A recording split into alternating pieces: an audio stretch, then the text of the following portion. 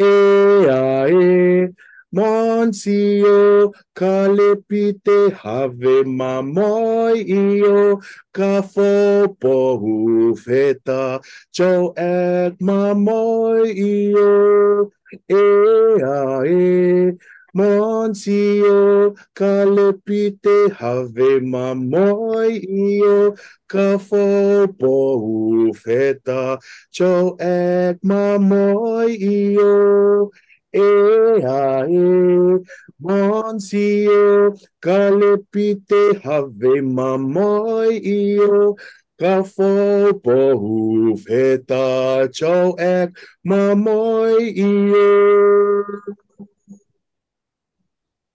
Mm. The MCST and the IWSA have a strong relationship going back to the first sustainable sea transport Talanoa in Suva back in 2012, when we first met with uh, Mr. Gavin Allwright. Mr. Allwright has been a champion of MCST ever since um, we first established relations, and we've been proud to be early members of the IWSA, along with other key partners being the University College of London and Hochschule Emden He is the Secretary General for the IWSA, being a member driven not for profit organization with over 150 active stakeholders from across the shipping industry, all dedicated to developing and facilitating the uptake of wind propulsion in commercial shipping. An integral part of that position is representing the organization at policy level at both in the International Maritime Organization, the IMO in London, and the European Sustainable Shipping Forum, ESSF. Mr. Allwright also sits as a non-executive board member of the World Wind Energy Association. He holds a master's degree in sustainable development and has contributed to many reports, academic papers, etc., focused on the decarbonization of shipping, and is also a visiting lecturer at the World Maritime University. And in his spare time, he coaches a number of youth rugby teams. The MCST has watched the IWSA grow and flourish to become the go to one shop for everything surrounding wind powered shipping, with a growing global membership and increasing portfolio of case studies across the global shipping fleet. The IWSA gaining observer status of the International Maritime Organization uh, also another milestone. And for the Six Pack Plus and the IWC have been working very close together at the IMO in the negotiations over greenhouse gas uh, reductions. We know that wind is part of the global solution and it will certainly play a major role in the Pacific's domestic transition. We need to ensure that wind is fully factored into the policy at the IMO. To celebrate this relationship, we have invited a number of panelists of local and global expertise to lead our Talanoa on wind powered shipping on the past, the present, and the future.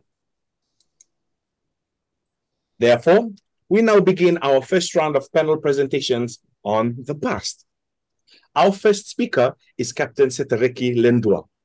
He has realized his dream to captain a drua, being a traditional sailing vessel in Fiji, and hopes that in 10 years he will see 100 drua sailing throughout the islands in Fiji. Having grown up on the islands, he has been a passionate advocate for the ocean um, in all its diverse creatures, the plants, the winds, the rains, the stars, and the seasons. He also graduated in 2010 from the Fiji Institute of Technology and began both modern and traditional uh, methods of maritime navigation. He is an NZCG day skipper and boatmaster. In 2016, he graduated from the Maritime School with a master's in engineering and became captain of the sailing vessel Moana. In 2018, he became captain of the sailing catamaran Uto ni Yalo, and from 2018 till present, he has been the captain of Thandrua Evola Singapore. Having sailed around the Pacific region and the world a few times, he is currently one of the only two trained navigators in Fiji and is currently teaching at the University of Fiji um, with the Center for iTaukei Affairs. Our second speaker for the past is Dr. Alexander Mawyer. He is the current director of the Center for Pacific Island Studies and the acting chair of the Department of Pacific Island Studies at the University of Hawaii at Manoa. His research interests include language and space in oceanic linguistics, biocultural indicators, conservation and indigenous sovereignty, and marine resource governance. He served as the editor for the contemporary, um, for the journal, the Contemporary Pacific, a journal of uh, 2016 to 2021. He sits on the board of the University of Hawaii Press, UHP, and is a member of the scientific uh, committee of the Maison des Sciences de l'Homme du Pacifique and the Rahui Center, among other board memberships. Without further ado, ladies and gentlemen, the past. And I ask uh, some uh, um, housekeeping rules for everyone uh, while our uh, respective uh, panelists are sharing. We ask that if you could please uh, mute your microphone.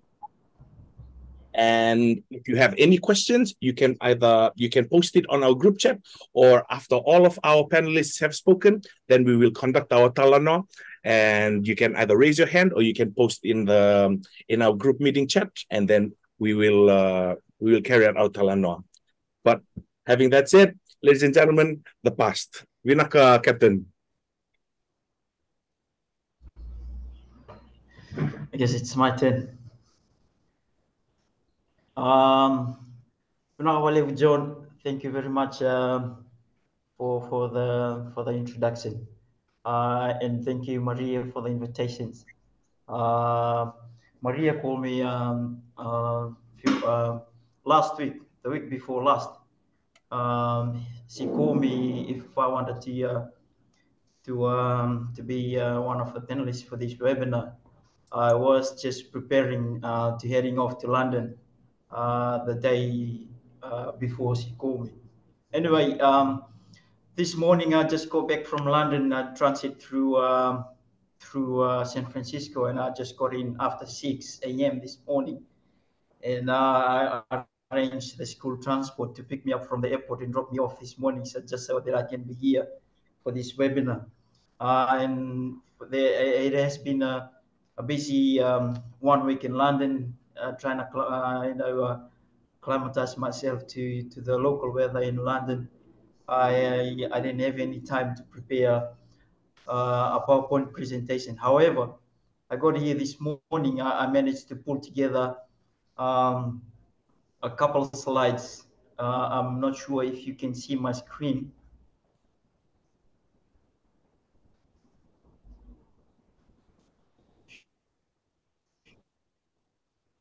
See my screen?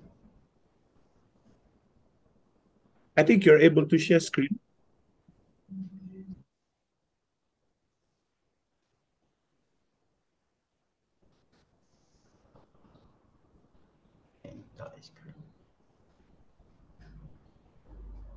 I'm not sure how this thing works. Oh, yeah, I think.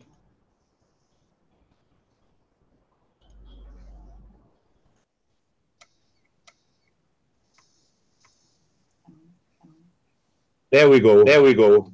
Yeah, yeah.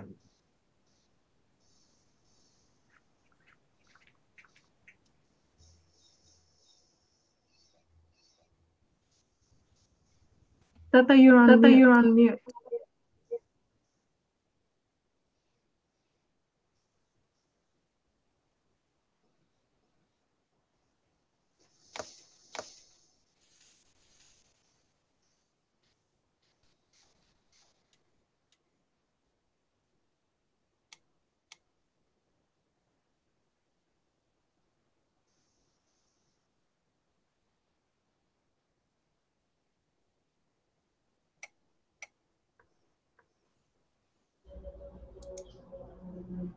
Uh, can you hear me now? Perfect.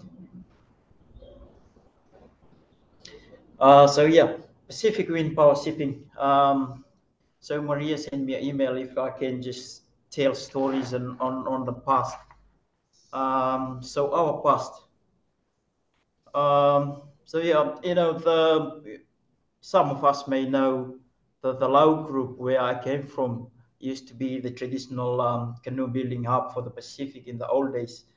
Uh, you know, the, the people in, in the old days moved cargo uh, around the Pacific using big druas and they sail across the vast oceans using wind without any drop of fossil fuel.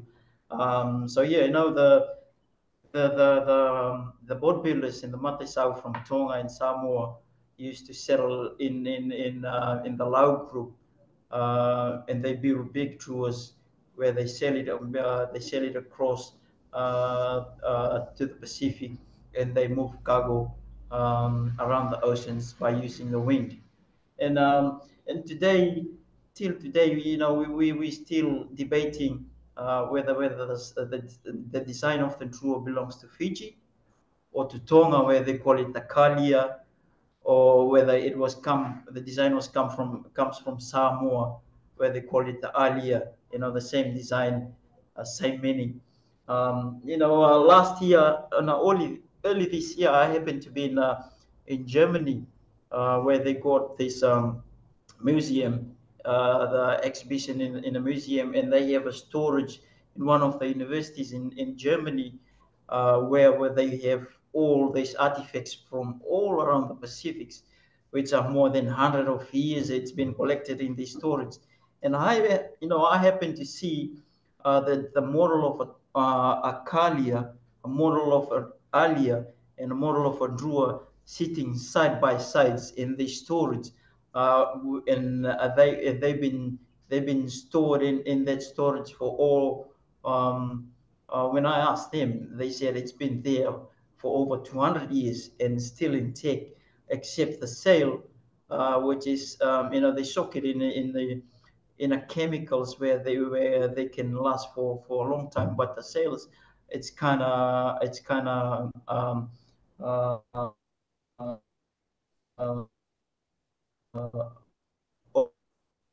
oh, and it, you know when we touch the sails, it's kind of breaking. And it's uh, uh, you know I happen to to see the evidence of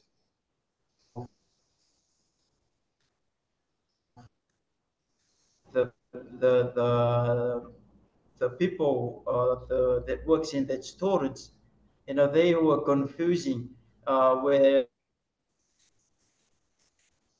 you know, there's a tag in there that when they they wrote the tag Tonga, but they put the question mark in there.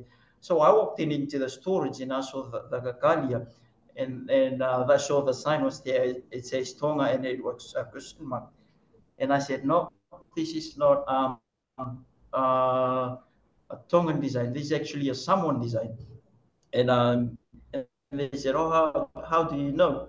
I said, I'll look at the the domo, which is the mast head, which uh, you know I, I was able to pick it up straight away that it was from from Samoa, uh, the alia, and uh, next to next to the alia was was was the uh, and the rig of the drua was you know was uh, was not up but it was down, and I said this is but they said Samoa, a question mark on the tag and they put it on the drua, and I said no this is this one is from Fiji, but next to um, next to the drua was a was a design from Micronesia, and then next to other the, uh, the canoe, the, the model from Micronesia was the the Kalia from Tonga, and I said, no, this is the Tongan design. Um, yeah, no, I happened to uh, uh, you know to uh, to walk into um, into that storage, and within two hours, you know, I was able to be uh, I was able to see all the artifacts of uh, of um, from all around the Pacific that's been there for 200 years. And I told them, you know, I happen to uh, to be to, to walk around the Pacific uh, in the last 200 years within within two hours, and able to you know to um, to witness the the similarities in the artifacts that they have all around the Pacific, um, and and uh, uh, that's that been stored.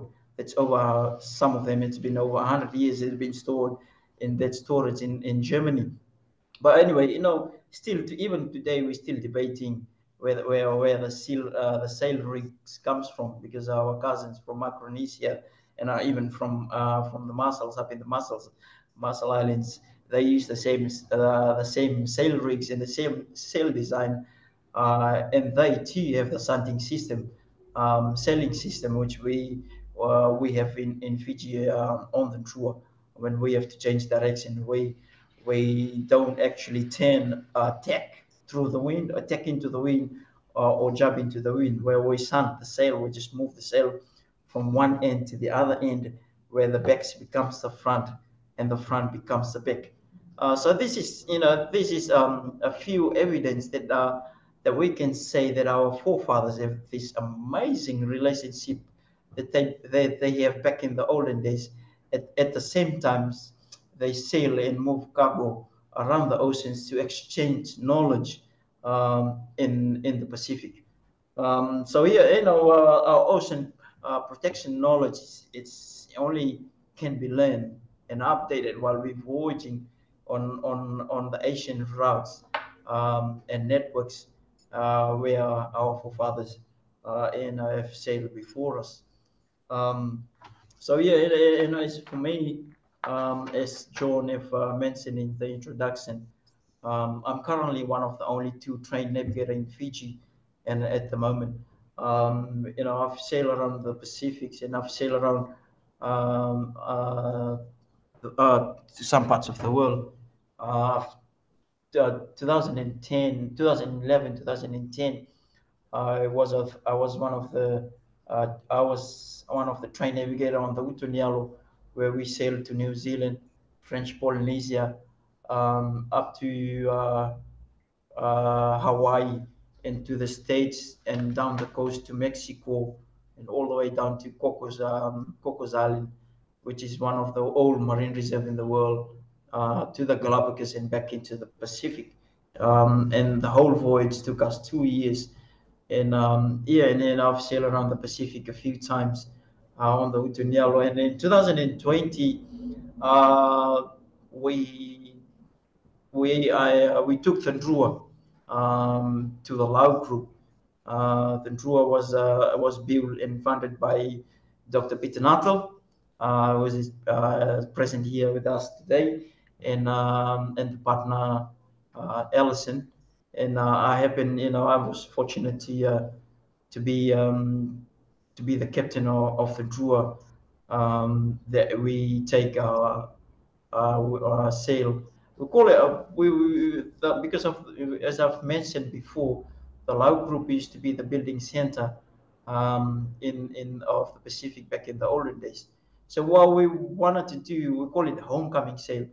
Uh, we wanted to backtrack that route um, uh, they were because when when they rules because of the south southeasterly trade winds, um, uh, the southeasterly trade winds of Kambara and Vulanga was mostly where the um, where the the, the Mataisau or the boat builders from Tonga and Samoa because of the southeasterly trade winds. So their so their routes their routes uh, back in the olden days they come through um, all these little island in the Lomaiviti and uh, into Levuka. Um, Levuka, which is here around here, uh, was, was one of the main the main transit points in um, in in the olden days before they sail across into other uh, you know to the other side of the Pacific. So um, because of the southerly trade winds, so uh, we, and we wanted to back uh, backtrack that route uh, into the Lau group. Um, as a homecoming sail. So we went through um, uh, through Leleuvia and to Koro in the Lomaiviti and all the way to the Lau group in, in the northern Lau group and all the way down to um, to Lakemba, Kambara and to Vulanga where I came from before we came back to Suvata. So the, the homecoming voyage um, uh, was mainly because we wanted to, there was a record of um, of, of the brewers selling out of of uh, the the Lau group, but there is uh, stories of um, these stories of the brewers selling back, but there was no record, uh, and hasn't been done in over hundred years. Uh, so uh, that's probably one of the reasons uh, we wanted to you know to backtrack and and sail back the, the the routes that they've been selling in, in the olden days, and also one of the reasons was for us to honor our ancestors of um, who have uh, of, of, who have uh, built the Drua, sailed the Drua. Um, you know, our uh, one of the reason why we we sailed back was to to honor uh, our ancestors and of course to ask their permissions as way as, as for us as we're moving forward we need the permissions of our um, of our ancestors, of our forefathers, uh, to be able to move, you know, to track uh, our our our movements into the future. Um, so yes, you know, there's some of the voids that we um, we have done, and uh, you may ask why why we voyage. Uh, but one of the reasons why we voyage was to prove that there can be um, that we can uh, sail around the world or sail around to any parts of the island around the Pacific without using technology, without using uh, GPS, without using um, you know uh, a technology uh, where all the big boats are using, was to prove that we can sail to any parts of the, of the world uh, by just using nature, just by using um, the way our forefathers have sailed uh, in the olden days. Um, um, because when they sail, they only use elements, they use nature, anything that surrounds them every day. Uh, you know, that gives them a clue uh, where they can set a course uh, to reach their destinations. And also one of the reasons why we sail was to promote to promote uh, sustainable sea transportation. Um, and, and also, so, you know, as a as a solution from day-to-day transportation in in in, in as maritime and um, they use uh, fiberglass boats with with fast and with outboard engines with the use of fossil fuel you know with, the cost of um, with the high cost of fossil fuel that comes in uh, today uh, um, you know the sustainable uh, use uh, by using the drua or using our traditional canoe um, to sail around uh, around our outer island even around the lagoon uh, is, is, is because it's sustainable. It's a is a way that we can replace um, fiberglass boat with uh, with also uh, with outboard without using uh, fossil fuel. And also, you know, the reason why we voyage was to reconnect with the people uh, of the oceans and, and strengthen our ties between the island around the Pacific, and also to strengthen the connection between between us and the oceans um, you know, our forefathers before, before, before the, the cars, before the planes comes in, the ocean was their highway where they sail um, when the weather is right, where they sail uh, just to see each other, just, you know, just to exchange knowledge. Um, and uh, so, yeah, that's, you know, that's the voyage and, and that's what they, they used to do uh, uh, back in the olden days. And um, yeah, so what lessons um, uh, from the past that we can learn uh, learn from moving forward to a clean energy shipping. Um, you know, when I, when when I the first thing I learned about when the most important thing I learned when I trained as a navigator uh, was still in the most valuable lessons that we can expand in in our everyday life was you know before we set sail to uh, to go to to another place the most important thing for us to know um, was for us to know where we come from um, and where you're heading to. You know, this was our most significant, uh, valuable lessons in, in for me uh, personally to know where I come from, uh, who you are, and where you're heading to, uh, to know your identity and everything that surrounds you, everything about you. You have to know uh, before you know before you head it uh, to where you want to go.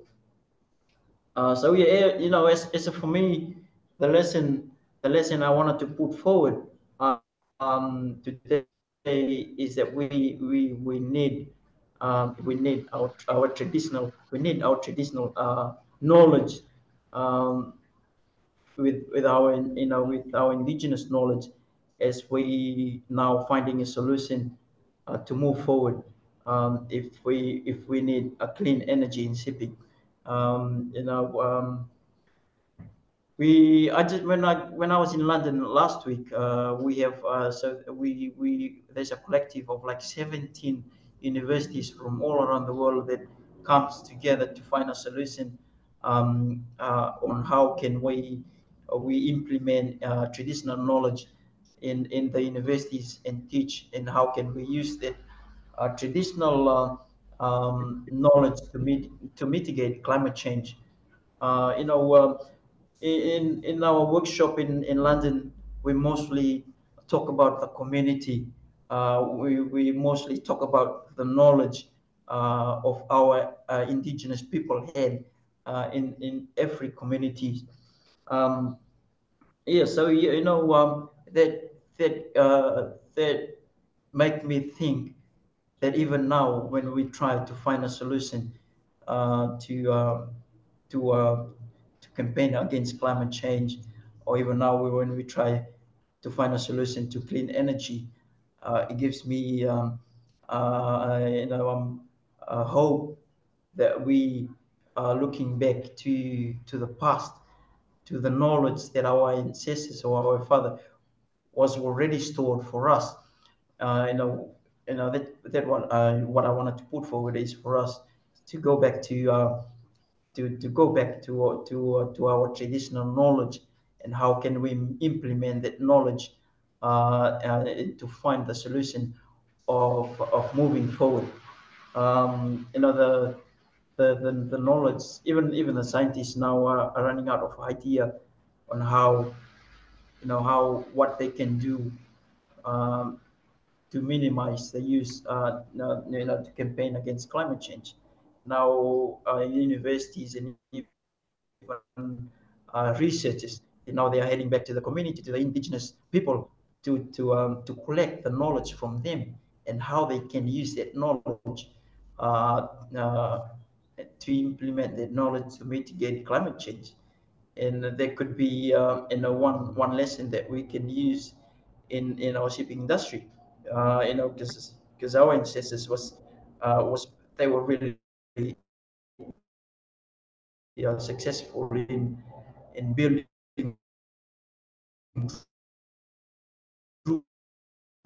where they, they move cargo across to another island by moving cargo, how much, you know, um, you know, um, this is one of the lessons I, I think for me personally, uh, what I wanted to put forward is for us to know where we come from and where we're heading to, you know, by, um, by, by bringing the past knowledge and how can we implement that moving forward into a, into a clean uh, energy shipping. Um, so yeah, uh, you know, just, just, just to conclude, um, my Talanoa this morning uh, for you know for um, for one of one of the things that I that I said that's been in the Fiji Museum. You know, as for us as a Pacific voyagers, we are on a journey uh, sailing into an island in the future and navigating by the values of our ancestral past. Our ancestors understood the health of the ocean reflects on the health of our people. Uh, so when we truly acknowledge this insight, when we are aware of the ex extensive threats to our oceans, and when we care about the future of our children, the only logical steps is to create a new vision, a new sustainable sail plan based on the values of interconnectedness, respect, and stewardship. Um, so yeah, um, uh, once again, um, to uh, Maria, thank you very much for the invitations and uh, to all, all, all of you that are present today. Uh, thank you very much for um, uh, for listening into uh, to to um, a little bit of, of the past of how ancestors have, have, have sailed across the Pacific.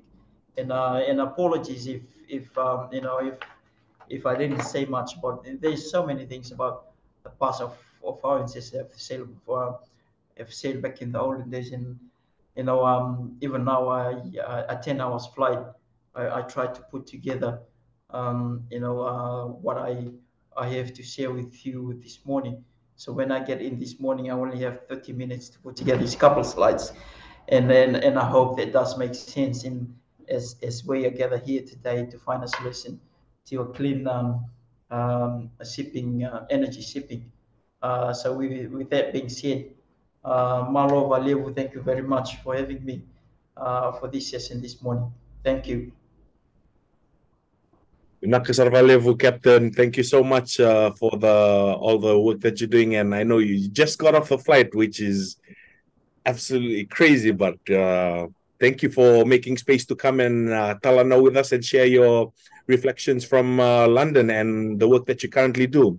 Indeed, you're right. You know, we, in order to move forward, we need to look to the past, reflect on the present, and move forward to the future. And I think, you know, wind power, um, wind power, and the knowledge of our ancestors is critical in uh, today's time and the global issues that we face on greenhouse gas and you know climate change. So thank you very much for your sharing.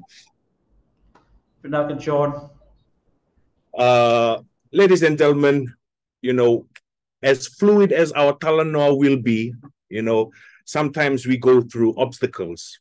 And, you know, we have uh, some few technical issues going back and forth right now. But, you know, if you all bear with me and you and we're all in this together, we're going to move forward. Uh, our, our, one of our speakers, Dr. Alex, will be is currently finding and navigating his way to the laptop or the computer so that he can join us for Talanoa. Uh, so when he comes, I will let everyone know and I will bring him into the session. Uh, but, you know, next we're going to move into the present. And it's it's going to be fluid. We're going to move present, future, however it goes, but we're going to move. Um, next, we, we're moving to the present. Now, our first speaker for the present is Miss Maria Sahib.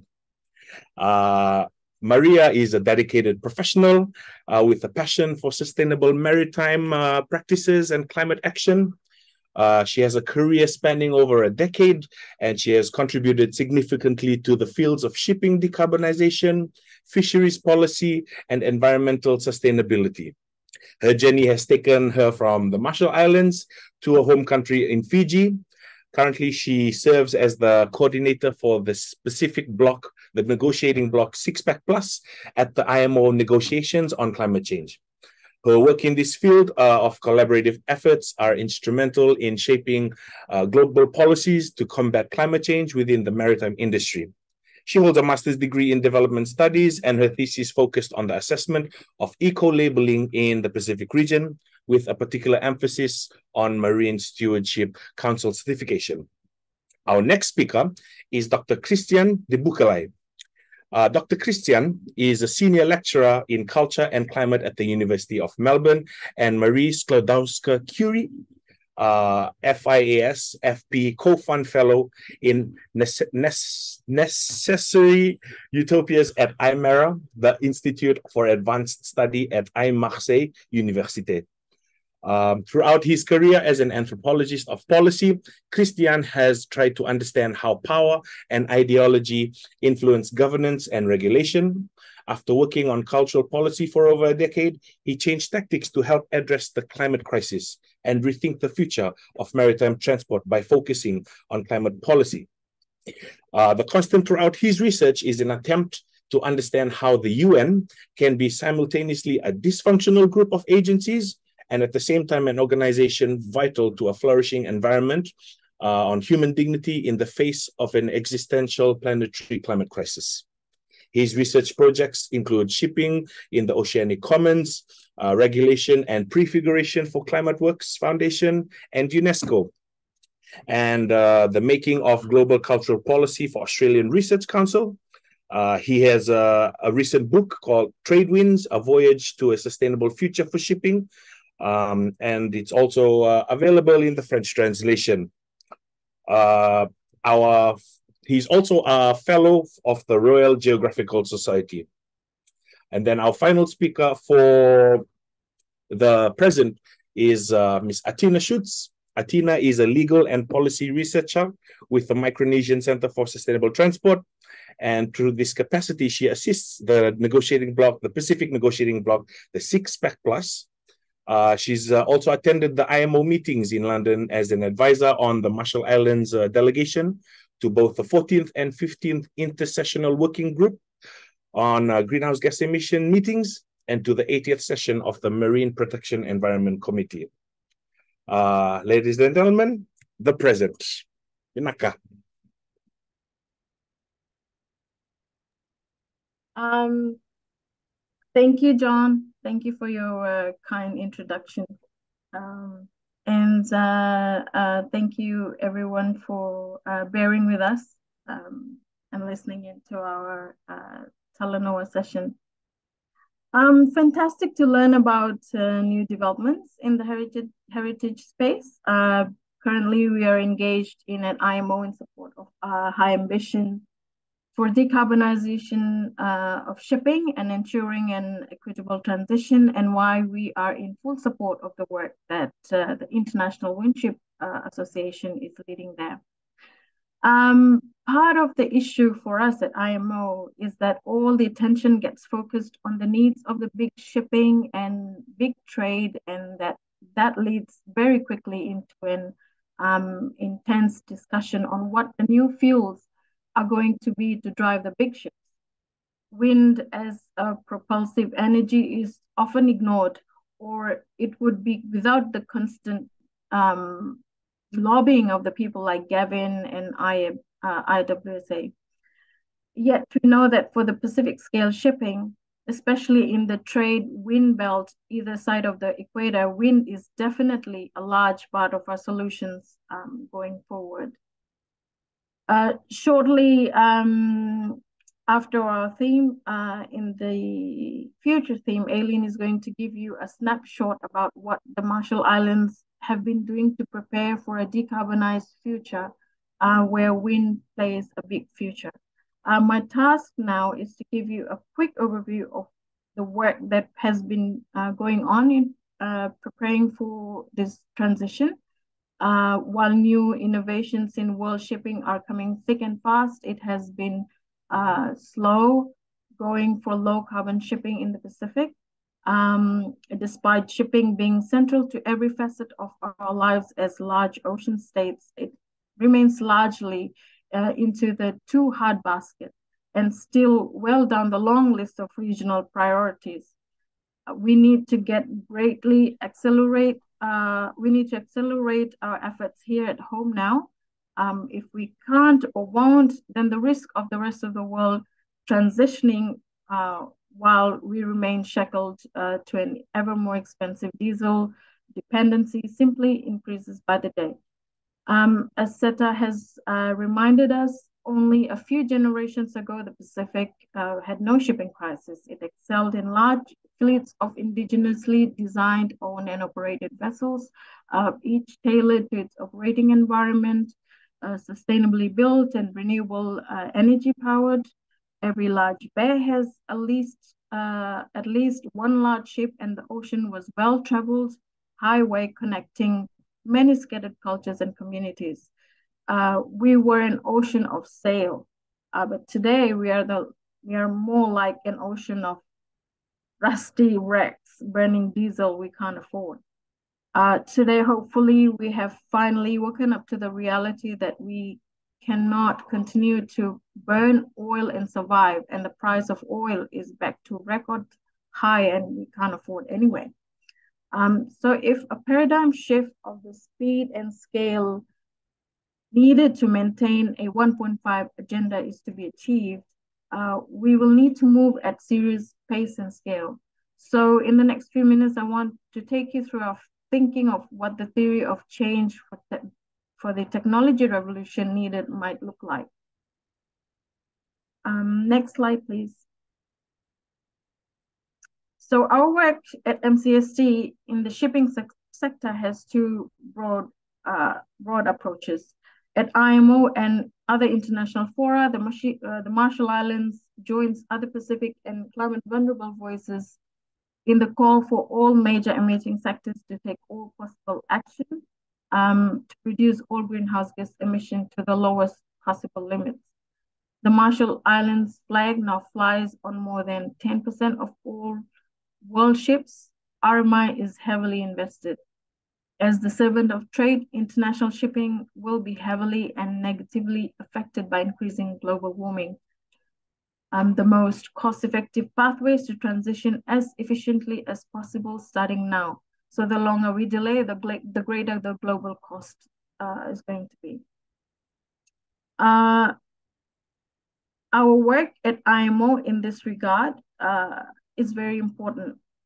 The levy proposed by RMI and Solomon Islands is the most ambitious market-based measure ever proposed for major emitting sector.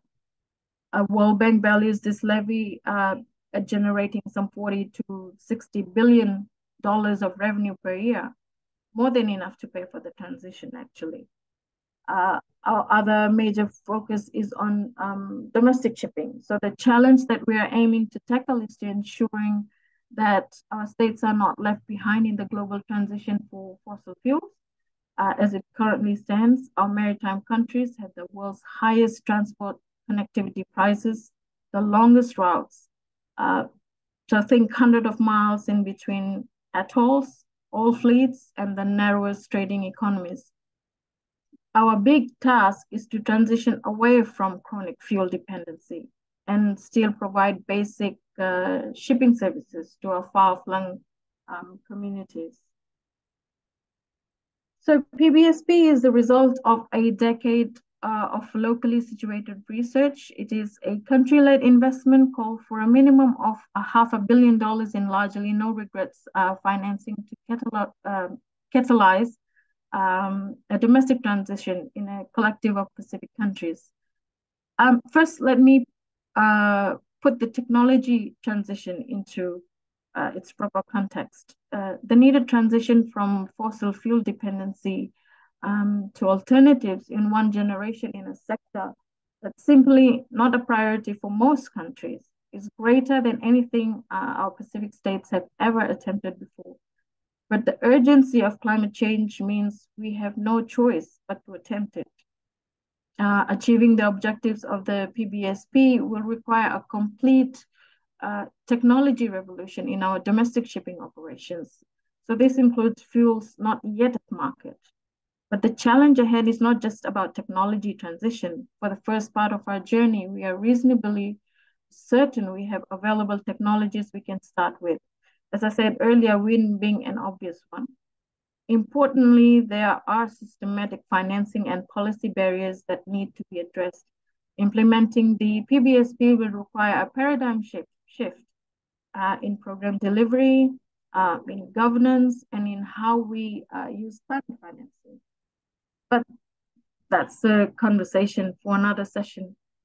Our research is that the Pacific requires a bespoke solution. We assume that transition is not a simple process of scaling down internationally proven, proven solutions and applying at Pacific scale. Uh, Pacific domestic vessels must service extremely thin and long routes. They must be in small, given um, small in size, um, given the transport demand, but able to operate as a full blue water craft to extreme weather conditions and budgeted within the constraints of Pacific Island economies and labor markets.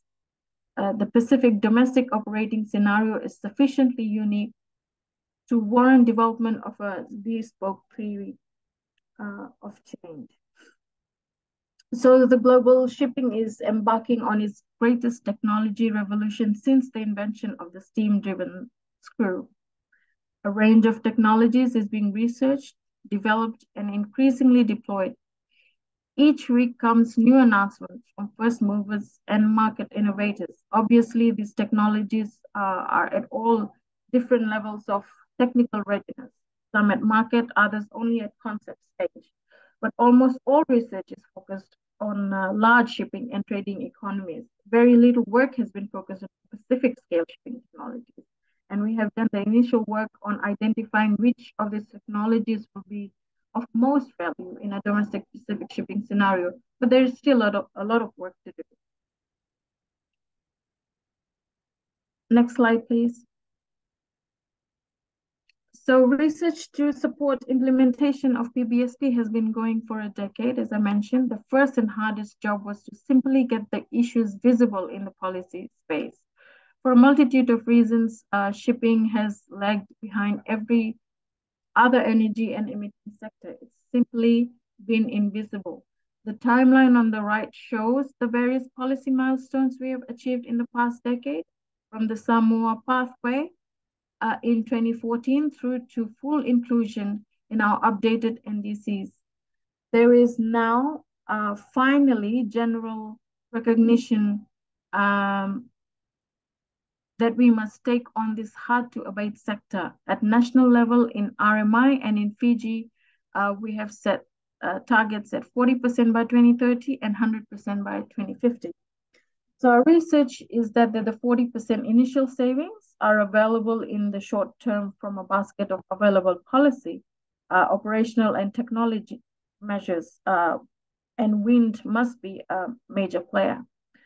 Uh, we cannot get stalled in an endless uh, cycle of guidebooks and scoping studies and pilot projects. Um, sufficient knowledge is held to move on now to portfolios of uh, coordinated proof of concept trials of identified lead technologies, including new builds and retrofits. Next slide, please. Thanks, Ellen. We have also identified and, and have researching, uh, have been researching a range of technologies that are not yet fully mature. Several of these uh, have strong potential to prove to be game changers if the technology is successfully brought to market in the near future. Uh, we continue to build research partnership with such technology developers uh, and to monitor their development. For example, we have done this with the Flettner rotor technology with leading innovators in uh, Germany, Windships, and Otec in Korea, um, e-ferries and tugboats in uh, New Zealand. Next slide, please. So PBSP is a catalyst for a program of ongoing work. It is not a project. It's about building a long-term transition, and as such, we require upfront and real commitment. We have identified four foundation measures that are elemental investments. The first and most critical research, uh, uh, the first and most critical, uh, rather, is research and uh, education. It is essential to build long-term my apologies, uh, there's speaker is on.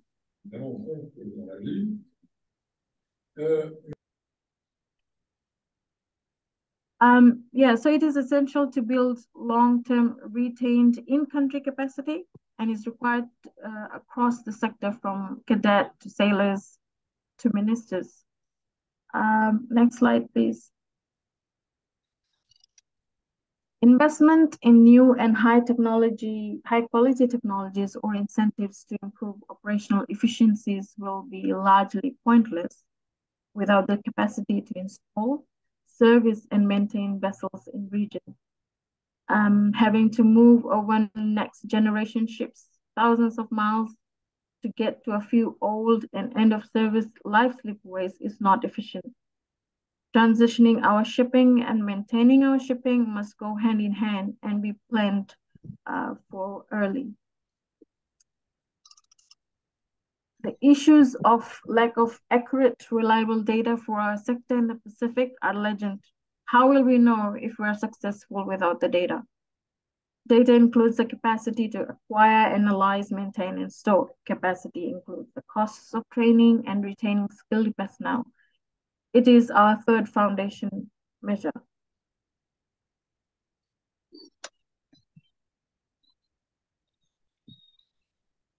And all of it requires a skilled and retained public and private sector capacity. Our government maritime services are already heavily strained uh, despite our small size. We still need to maintain all the regulatory and governance functions a large economy does we need to value, upscale, upskill and retain a competent modern maritime workforce across the sector if we are to be successful. With our foundation measures in place, uh, then the period between now and 2030 is mapped out with policy interventions to incentivize the transition, which includes customs and duties, tools and restrictions on vessel imports, and then a coordinated portfolio of uh, designs and technologies at TR7 and above uh, for proof of sector trials. Uh, and the last, an active research and development program for less proven measures and ongoing technology and knowledge transfer with our international partners. With adequate and uh, appropriate investment, uh, the initial RMI Fiji NDC targets are achievable uh, with available policy, operational and technology measures. Moving past this, moving on to the light blue path and achieving full decarbonization will ultimately require access to alternative fuels and technologies not yet in market. So the, the choice of such alternatives uh, for specific deployment is far from clear and will take a much more detailed and in-depth study. In the meantime, our primary function must be maximizing efficiencies, the technologies that we have at, have at hand, our ongoing investment in research, development, but most importantly, deployment of working vessels will be essential to determine appropriate specific pathways. Um, next slide, please. So this takes us full circle if we're committed to a real transition to low carbon shipping, then it is going to take real investment across the sector. Our delegations at IMO are slow, more slowly than we would like, bringing a real carbon price into effect at IMO. The byproduct is significant revenue generation. Again, our delegates have been persistent um, in ensuring the real needs of our SIDS are at the forefront of the negotiations. But the challenges is now on us here at home to ensure all political capital results in real change to decarbonize shipping for domestic fleets. Our partnership with Gavin, with IWSA, is one more step along that journey. I thank you all for listening. Komol Tata and Vinaka vakalevu. Over to you, John. Thank you so much, uh, Maria, for your excellent uh, sharing. Uh, I now pass it over to um, uh, Dr. Christian de Beukelaer. And I've just gotten word that uh, Dr. Alex Mawyer will be joining us right before 12.30 in about 20, 25 minutes. So that's good to know. Thank you very much, uh, Christian.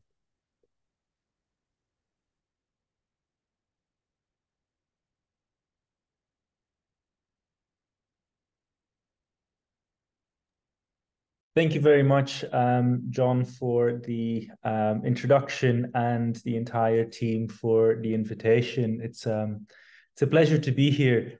And what I was asked to do is is to kind of, um, in a sense, comment on some of the the work I've been do doing as as a researcher on the revival of sailing cargo ships. And don't be fooled by the initial image that you see of a large um, fossil fuel powered container ship, there is a sailing cargo ship right in front of it as well. But as you will see, it is tiny, and that is um, part of the challenge that we're dealing with right now.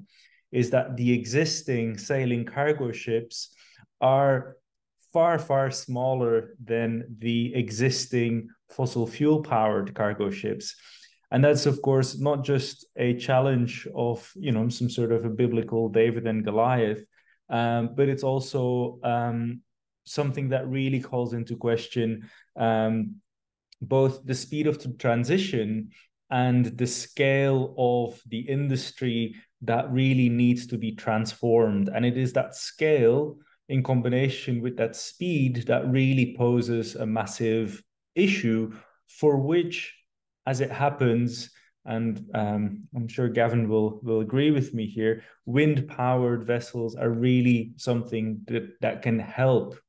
It's um, it's really been beautiful to hear Setareki's um, kind of engagement with the history of vessels in the Pacific. But what I'm offering here is is a an account of my research that offers a bit of a, an Atlantic counterpoint to what is happening in the Pacific.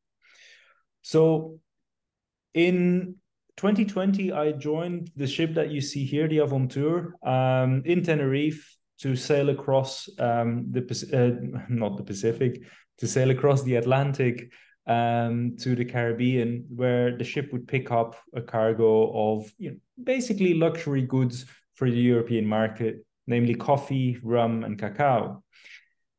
And um, that vessel is um is a kind of a proof of concept run by a German shipping company called Timbercoast that has the intention of investing and, and building um, modern sailing cargo ships. But this is the ship that they're currently operating because that's the ship they were able to find and um, and and purchase at the start of their operations. And all of this is as a way to show that sailing cargo ships are not only a possibility, but can also be a reality today and effectively are, because this ship has been in operation um, as a sailing cargo ship under the current owner for nearly 10 years now. But even prior to that, this ship has actually got a very long history of operating as a sailing um, cargo ship throughout the 20th century and there's only been a short period where it was in use as you know something other than a, a, cargo vessel which makes it quite unique. But all of that of course calls into question whether or not this really is a feasible option. And what we see is that on this on this route that we took it is possible but it poses some challenges. And those challenges are mo- mostly due to the build of the ship and the hull not being particularly well suited to the route that we took and the um, the size of the hold being not particularly well suited for such a long um, ocean crossing. Because what happened is that not only um, was the trip of you know that that I took extended quite significantly because of the COVID pandemic, we were also um, we, we also got stuck for quite a while in the Gulf of Mexico trying to get out against the wind and against the current, which is very difficult um, in a flat bottom ship that doesn't sail into the wind very easily. And at the same time, because of the very limited cargo hold, uh, cargo hold space on the vessel, what we were carrying was a grand total of 65 metric tons of um, cargo, which is, of course, a very small amount of goods, considering that we were 15 people on board, taking, you know, nearly 200 days of for the entire trip, of which I was on board for about 150 days, which is all incredibly labor intensive, incredibly costly, and quite tricky to do. And of course, it, it, it, you know, as you can see, the, the, the space that was reserved for cargo on this vessel was really quite limited. And that's something that is really changing with the newly designed vessels, like um, the ship that Michael Vahs, who will present later, has designed for the Marshall Islands, as the much you know smaller outrigger vessels that are in use and are being developed further for intra uh, intra atoll um, transport in the Pacific and um, some of the really big modern sailing vessels that are designed and being built and are currently um, entering operation um, you know from a variety of shipping companies across um, Europe so this is of course a way of showing that it is possible but going back to ships that are over 100 years old as as as, as is the case for this one um, poses real challenges. But even so, what it shows is that the techniques in terms of running sailing ships, the the the, the this you know how you operate and how you man, how you handle a sailing ship um, to use and harness the wind as the primary source of propulsion. The basic ideas behind that haven't changed. So using these old vessels to train the crews that will, um, you know, operate the newer vessels can be a really great way of maintaining um, a continuity of heritage, but also to train up um, new crews for the future. But of course, beyond looking at how we propel ships, there's always the question of the scale at which we operate and the speed at which we operate. Because it looks like not only do we have to replace the current 11 billion tons of cargo that is being transported uh, over sea um, or by ships every single year today, we also have to prepare for a future in which we'll likely see a doubling or tripling of that amount of cargo um, on a, you know, adding up to over 20, uh, over 20 or over 30 um, billion tons of cargo a year by 2050. So we shouldn't only think about how we how we transport these things, but also just how much more we can possibly um, keep on carting around in order to um, push global trade.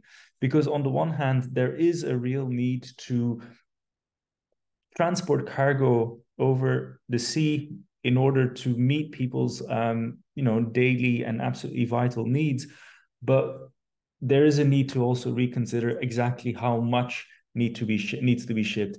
And i think that's also very much part of what we're trying to do here in thinking about you know using things differently using labor differently using ships differently and in doing so um, you know experiencing the real limits of um, you know all, all, the labor all the effort all the planning that has to go into transporting goods and perhaps reconsidering how much of that needs to be shipped when things get potentially more difficult or more um, more costly. And of course the objective of the transition that we're in is to ensure that we operate a very smooth zero emission industry that can uh, cater to everyone's needs but that might involve a recalibration of where and what we ship um, which could actually see more goods going in and out of um, the pacific islands and some um, parts of the world including um, europe and australia where i'm based uh, might actually have to do with a little bit less. So that's kind of um, a very brief glimpse of some of the work I've been doing at sea. After that trip on the Avontuur, I've started looking into what's happening in the Pacific a, a whole lot more, and have been, um, you know, trying to help out the um, the, the Six Pack um, coalition in their work at the IMO, and have visited the Marshall Islands as well.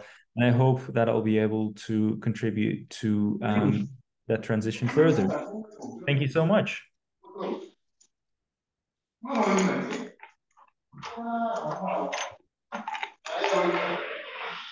Thank you so much, uh, Dr. Christian. Uh, the reminder, if we could all please uh, mute our microphones during the presentations, that would be great. Appreciated. Masya, kamu boleh bilang. Kamu itu kutuku. Apa? Kau salah kala kena SIS. Hah? Salah kala kena SIS. Ayah kena rumah ni. Uh, Senator if you could please mute your microphone. Naka. Uh, we now move to our next speaker, uh, Atina. You have the floor. Uh, thank you, John. Uh, thank you, everybody, for that uh, really great great introduction and for a, a great uh, preceding presentations. Uh, apologies, but my camera for some reason cannot turn on. So uh, anyway, I'll just go ahead. But uh, my my presentation for you all will basically focus on what's happening right now at the International Maritime Organization. Uh, so without further ado, I'd like to um, uh, firstly, talk about the IMO. The IMO is a, the UN specialized agency for regulating shipping, for those who are not aware. And the IMO is also uh, where for almost a decade, a group of high ambition Pacific countries, nicknamed the Six Pack, have been advocating for high ambition outcomes for um, uh, for the for, from the shipping industry. The industry accounts for up to 3% of emissions globally, and if it were a country, it would be the sixth largest emitter. For the Pacific region, shipping is a lifeline. Without it, we wouldn't have access to the crucial goods and energy that we need to power our economies and provide for the people. But decarbonization is also very costly and highly technical, and it's something that uh, would be very difficult for our respective governments to foot the bill for. You know, especially if we have to deal with other costs such as uh, running a country and responding to climate change impacts. It's also hard to convince the entire shipping industry to switch to alternative fuels uh, when these alternative fuels are also highly costly and not up to the market scale. Whereas the current fuel source, which is heavy fuel oil, is you know very very cheap. So it's the most economical fuel that we have. There's also consensus uh, within the IMO that market-based measures can be effective tools to incentivize decarbonization and increase the uptake of alternative fuel sources. Uh, so, you know, responding to that, RMI and Solomon Islands uh, propose a, uh, a GHG levy of $100 per ton of CO2 equivalent. And the idea is that this would go into assisting uh, in the research and development of alternative fuels, but also to uh, incentivize the shipping industry to decarbonize and to um, uh, uh and to assist in um, uh, offsetting the disproportionate negative impact that arises from having such a measure in place. Uh, so in July of this year, the IMO adopted the 2023 IMO strategy on reduction of greenhouse gas emissions from ships, where the IMO member states committed to reducing global emissions by at least 20% by 2040 and at least 70% by 2050. Also noteworthy to mention is the commitment to a just and equitable transition of the shipping industry and uh, a clear provision in the strategy that ensures a just and equitable transition that leaves no state behind when developing measures to decarbonize the industry. Additionally, the Marshall Islands also introduced the term equitable transition. Under an equitable transition, there needs to be an equitable access to the benefits of decarbonization, technical assistance, and technology sharing, and very importantly, financing to decarbonize our domestic fleet, but also to address our general climate aims. A commitment to an equitable transition means agreeing to adopt differential treatment between states in terms of the revenue disbursement of revenues that comes from implementing the, the GHG strategy. And vulnerable countries already grapple with uh, inequalities in terms of historical emissions, climate impacts and the ability to address climate impacts through mitigation, adaptation, and compensation, and the need to uh, have a level playing field. So one of the reasons why, well, an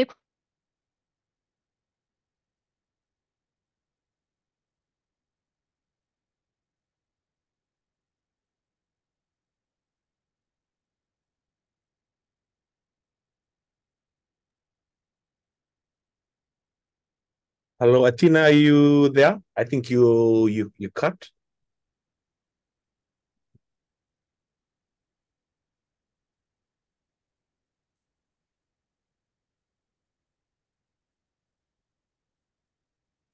It seems that our our friend is uh, facing some technical issues uh, from uh, the Marshall Islands. Hopefully, she should join soon in that case, I will give her space. Uh, I will give her space later when she joins back. Um, apologies, everyone, for these few hiccups that are going on right now. Uh, but I thank you all for your understanding. Uh, having that said, we now move to we will now move to the future part of our, our webinar, and uh, our first speaker is Eileen Sefeti. Eileen is uh, of both uh, Rotuman and Fijian descent, raised and brought up in Majuro, the Marshall Islands. Uh, she served as a research assistant and the acting project coordinator for the Center for Vocational and Continuing Education, CVCE, at the University of the South Pacific, uh, Marshall Islands campus from 2017 to early 2019. She went on to serve as the administrative assistant and budget officer at the Embassy of the Republic of the Marshall Islands in Suva, uh, Fiji from 2019 to 2023. While serving at the embassy, she was pulled in to work with the technical team for MCST in 2020 to help provide support to uh, Ambassador Albon Ishoda, uh, the ambassador to uh, the Marshall Islands ambassador to Fiji then, who led uh, RMI shipping uh, decarbonization efforts at the regional and international forum. She currently is part of the MCST support team and served uh, as the outreach coordinator and project director backup real and special envoy on maritime decarbonization for the Marshall Islands from 2022 till present. Eileen is now transitioning over to serve as the MCST UNF project director. Our next speaker for the future is Captain Professor Michael Vahs. Uh, since 2000, he was appointed as professor for ship operation and simulation at Hochschule Emden Leer University of Applied Sciences, uh, and has graduated in maritime transport from Hamburg Polytechnical Institute in 1989, and then undergone a career in the merchant marine on various types of ships up to the captain's position. After three years of studying uh, maritime education and training, he was appointed as maritime lecturer and qualified for professor's appointment in 2000. At university, at the university, his field of research has been strongly related to green shipping, in particular the development and operation of sail systems for cargo ships. Since 2017, he was the honorary professor at the University of the South Pacific, Micronesian Center for Sustainable Transport, research on ship operations and efficiency. From 2017 to 2019, he was a visiting professor at Western Norway University of Applied Sciences, Haugesund lectures, and research on green shipping, low carbon shipping. Since 2021, the captain has been the co-chair of the new Fraunhofer uh, Research Unit, Sustainable Maritime Mobility at Fraunhofer IWES, Bremerhaven and Hochschule Emden Leer in Germany. Uh, and then our final speaker will be Mr. Gavin All Allwright, of which I uh, introduced his bio in the beginning of our webinar. Without further ado, the future. Thanks, John. Thank you to our um, presenters. You have already given us a lot to think about. Um, it is my pleasure to be here to share some thoughts about what the future of wind shipping might look like. Um, as John has mentioned, my name is Aileen Sifeti, and uh, I've just been recently appointed as the project director for MCST, and uh, a large part of my job now is uh, coordinating the support, the Six Pack Plus, and the um, high-level negotiations at IMO over how fast and how equitably we can decarbonize. Those negotiations are incredibly important. After many years, we finally get to the part of the negotiations about um, the money and the implementation of IMO strategy. The negotiations become ever more technical and complex. And um, Atina was in the process of giving a brief background on that, but she got cut off. Um, hopefully she'll be able to join in again later. But it's also really refreshing in this session to be able to focus back on the um, Pacific and our transition and to be able to do something about the future of shipping for our countries. My take home from the first session on the past was that our ancestors were not afraid of a challenge.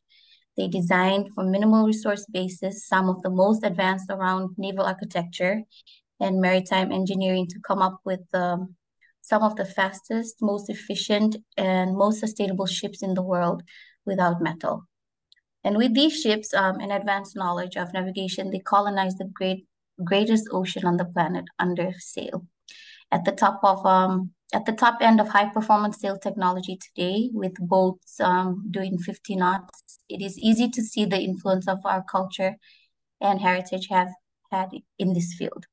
So a large part of the future missions is to relearn how to harness um, the knowledge our ancestors learned for the new challenges ahead. Heritage um, revitalization is a critical part of our future, especially for us in the Pacific. Um, in terms of practical application at country level, the SV Kwai for many years was our sole representative of sail-based um, cargo operating on the ocean. It is now a decade since we sat down with our partners at um, Hochschule Emden Leer to design a, a pilot program to build a modern Kwai. This year, I was proud to um, be at the keel laying ceremony in Geoje Island uh, in Busan in Korea. That was May. And this is the product of a five years design work um, under the German-funded GIZ project. It's a major step forward, but it is only one step in a long journey. Uh, next slide, please.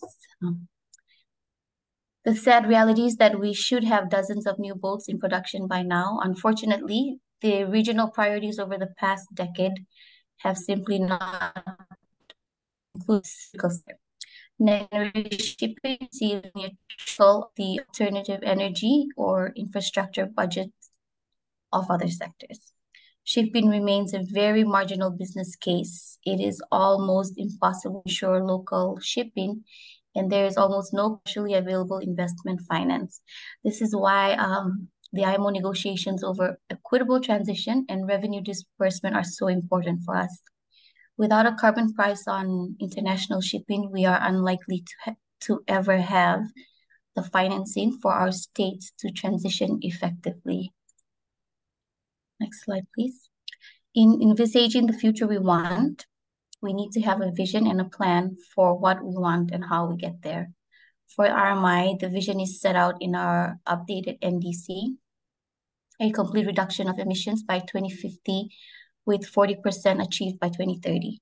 We set the 40% milestone based on what was achievable with existing technology, wind in particular. Uh, the plan is uh, REVELEP 2050, which is our cabinet approved natural framework for uh, transport decarbonization. This framework is the first national action plan submitted by any SIDS to IMO. It calls for action internationally and domestically. At the core of um, REVELEP 2050 is series of uh, research work streams of policy, education, heritage, data, economics, uh, and technology interwoven with common principles of partnerships, knowledge exchange, and participatory learning. REVELEP 2050 gives us a chart and a course for the future.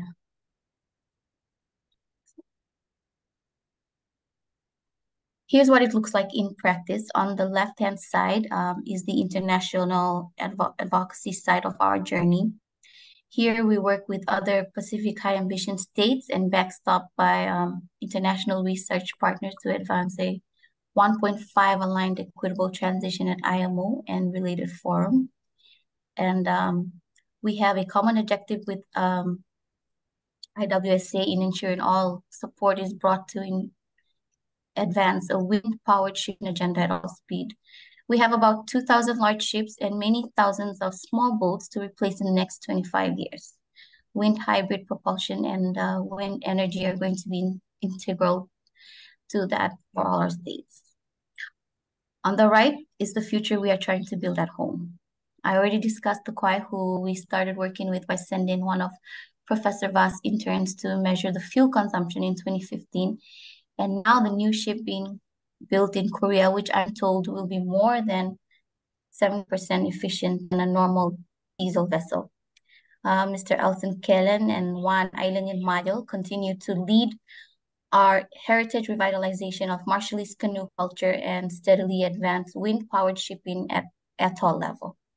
We continue to work with new and old partners in Korea on um, emerging technologies like uh, WIG Craft and OTEC and industry partners like Swire, GMF um, on commercial applications of new shipping technologies. Again, this is it's all about the partnerships. Next slide, please. Um, in this last slide, I wanted to just touch on some of the ideas we have been working on for the future. In recent work with um, Australian Defence Force think tank AP4D, they're recommending Australia consider funding a fleet of low carbon ferries for the Pacific in um, in much the same manner as they provide the current fleet of Guardian class patrol vessels. We think this is a great suggestion, but it would be even better if they funded the rebuilding of Pacific shipbuilding capacity like Fiji had 30 years ago, so that they could then contract Pacific shipbuilders to build Pacific ships. In the example on the left of the slide, we were asking what um, the additional cost per vessel would be to commission a fleet of our friend um, Derek Allard sail freighters if it included setting up a yard in the Pacific. Uh, if we can, sorry, oh sorry, if we can't build ships in the Pacific, then surely we should be looking to build a long-term relationship with someone who can. Can we work long-term with a reputable yard in a rim country where we can send Pacific shipwrights for work and training? While it is fantastic to see the first ship built, we need to build a whole fleet. And then there are the large ships, which we will never build in the Pacific. For this, we need new business model and new technologies. the Neoline ship being built in France today is one possible solution. And at the bottom of the slide is the new hospital ship Japan recently donated to RMI. We are, of course, incredi- incredibly grateful to get this ship, but it would be even better to have a low carbon version of it for the future. I've also added a few more wing ships flying around um, just because we really want to see them in action in the near future. Um, John, I hope these um, thoughts have been useful, and um, we really are very grateful to Gavin and um, I IWSA. They have been a strong part of our formation. We know they are an equally strong part of our future as well. So, with that being said, um, this brings me to the end of my short presentation on the future and uh, Kommol tata. Over to you, John. Awesome. Thank you so much, uh, Eileen, for that. And yes, indeed, very, uh, very helpful for us. Uh, I now uh, give space to uh, Captain Professor Michael Vahs. Thank you, John.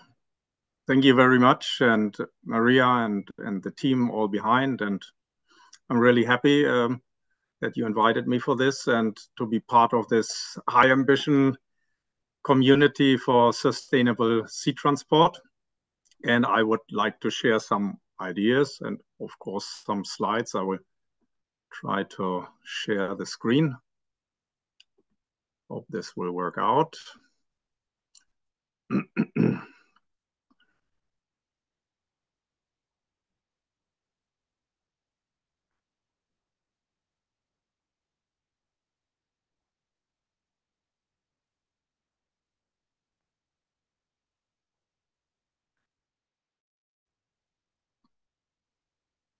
Awesome. Let me know if you, yeah, yeah. Can you see it?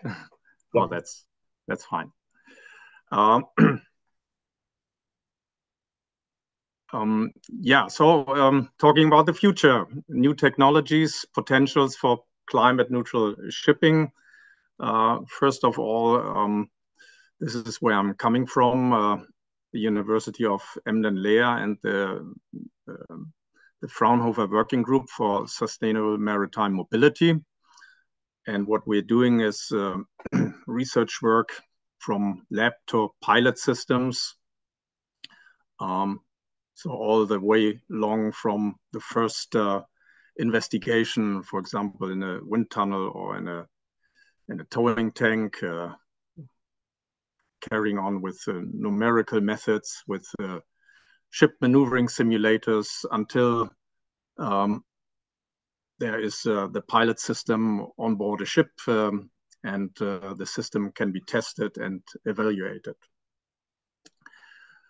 Yeah, so we know the problem. Um, I think I, I, I, get rather quickly over this, uh, but um, we knew, of course, that uh, the ambition is rising and uh, that MEPC uh, has brought about uh, uh, more ambition and a climate goal um, of going down to zero around 2050, which is good and amazing, and certainly um, uh, due to uh, not the least the hard work of the uh, six-pack um, group.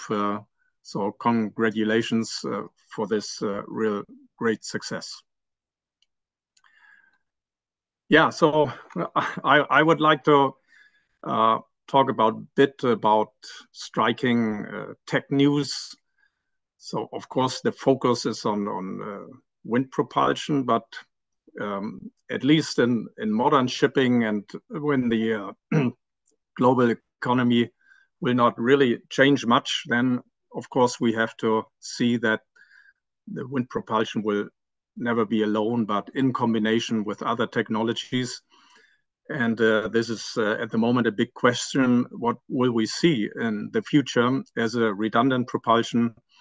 Um, and I found this uh, very amazing. This uh, in China built uh, container ship of around 700 TEU. So this is a quite uh, medium size container ship.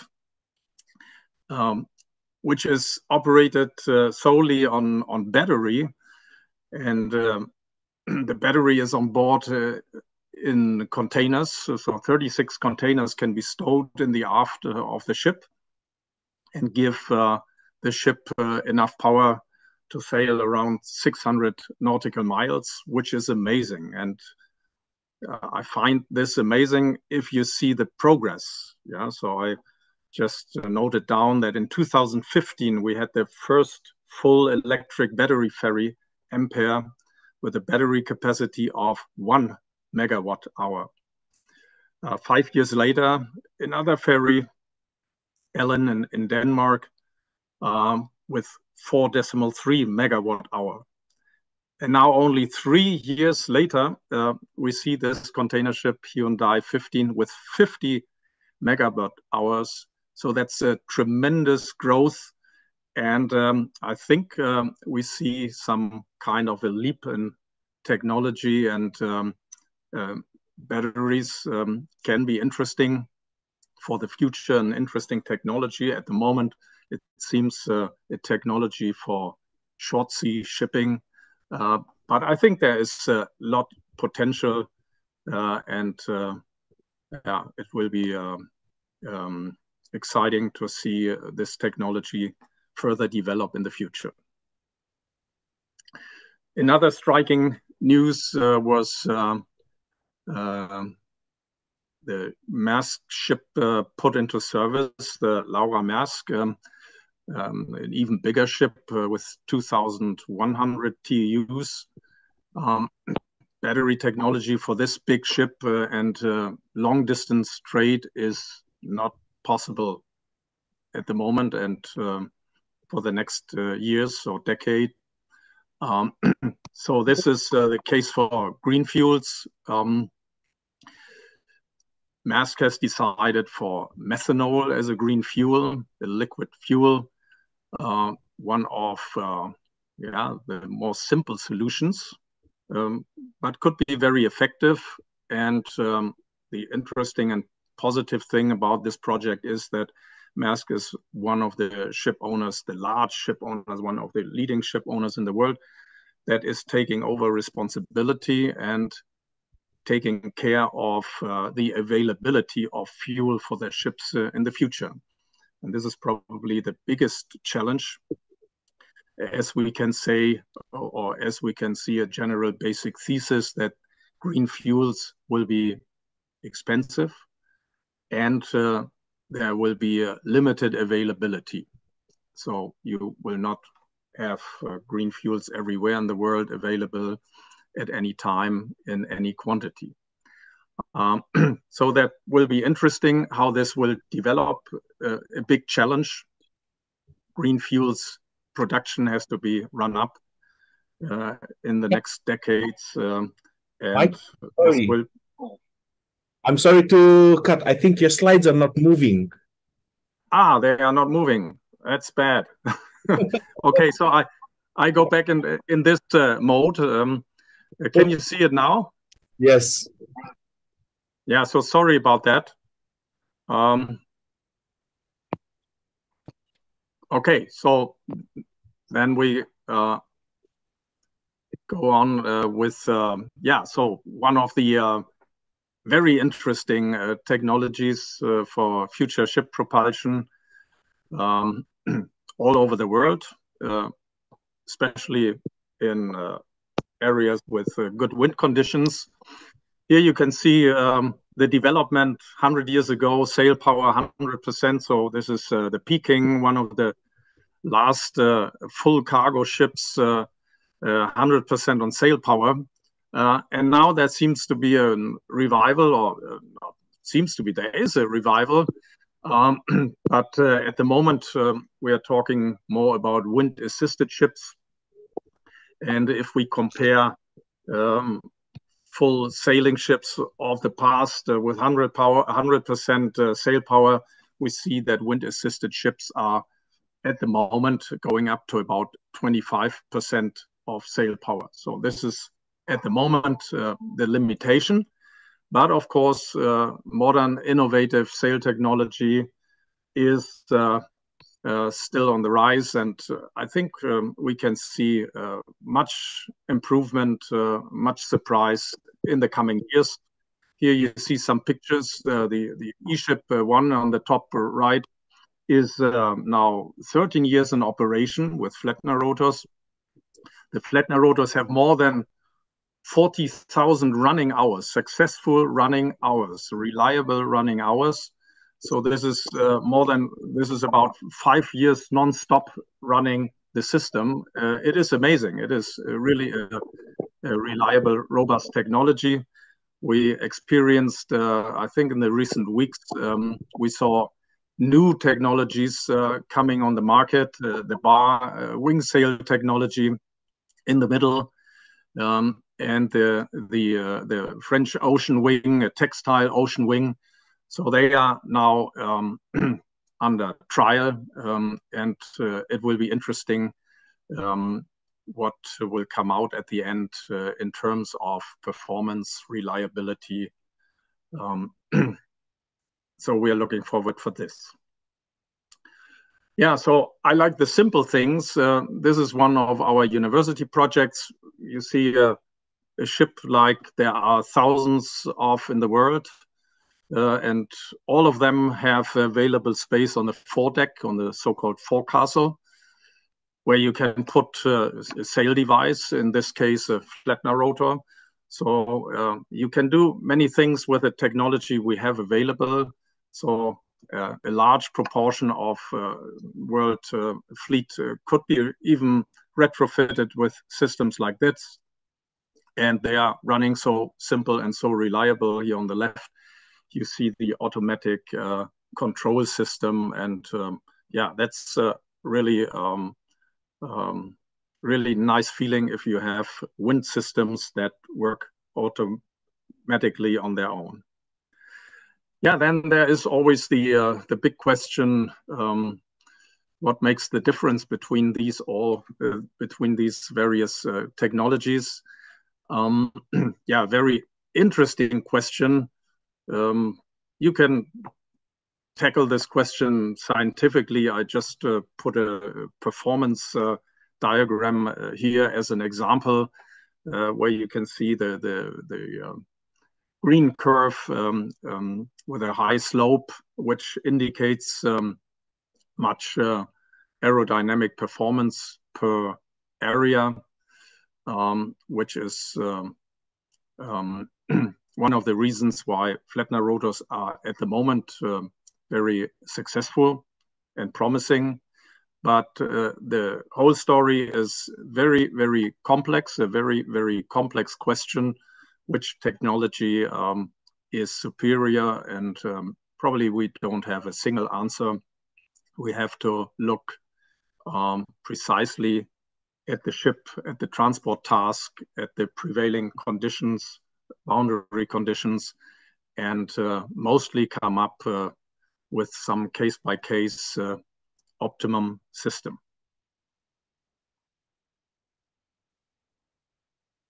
Yeah, so the um, decision drivers for ship owners are mainly performance, but this is not all of it. Yeah, this is important and uh, in interesting for discussion. I, I know that uh, uh, in the Pacific Islands, uh, people like to discuss about performance on on on sail systems. You can have nice talks instantaneously on sail performance, um, but in the economic world, there are more decision drivers like robustness, maintenance uh, of the system. So the system must run reliably uh, for a long time, uh, especially where you have uh, remote locations and cannot call the service at any moment. Uh, this is a very important driver for the decision. Automation, high system availability, and the compatibility with cargo and ship operation uh, very important aspects um, uh, of course, uh, the savings uh, potential, fuel or time. And finally, and I think this is one of the, or this is probably in the economic world, the most important decision driver. the cost structure, where we have the investment, where we have the maintenance cost, and where we can come out at the end if we have sufficient data with perhaps uh, a cost model where we calculate the cost per kilowatt hour uh, uh, propulsion power of a ship that is being generated by the sail device. Um, at the moment, um, we have many systems um, coming up on the market, being under trial, where we don't have reliable figures now, so that will take a little time. So you cannot put a sail system into operation and then next day uh, present figures. Um, you need, let's say, months or better, a whole year for operation to come up with reliable figures. And that's probably at the moment a little shortcoming for uh, ship owners um, that um, available data and trusted data um, is um, not at hand about all systems. Of course, there are other requirements. Um, a green image seems to be an important driver as well. And uh, yeah, now we are coming uh, to one project uh, we heard already a little bit about. Uh, I can uh, talk hours about this project and get quite enthusiastic. This is the uh, the new um, sail cargo ship for the Marshall Islands. Um, on the right side, you see some pictures from the general arrangement plan and some artist's impression, and the state of construction on the shipyard in Geoje in South Korea. So steel is, um, uh, I would say, around uh, 95 or 98% completed. Ship will be ready in February, March, uh, delivered. Um, yeah, um, GIZ, the German international corporation and the environmental ministry funded this climate protection project for a tailor-made uh, Pacific Island supply and a cargo vessel, where all the experience of um, Pacific Shipping from the Marshall Islands Shipping Company was put into this uh, design. So this design build up on experience on the existing fleet. So there is not a break in, but it is a development to build on the existing, which uh, um, um, has done well service for many years and and decades. Uh, but um, putting this uh, into a new age of technology. So our predictions expect 80% fuel savings by a sail system, the so-called Indosail type uh, system, which uh, was uh, created by Peter Schenzle about 30 years ago. I think Peter Schenzle is in the audience, so he will be happy to see this, I'm sure.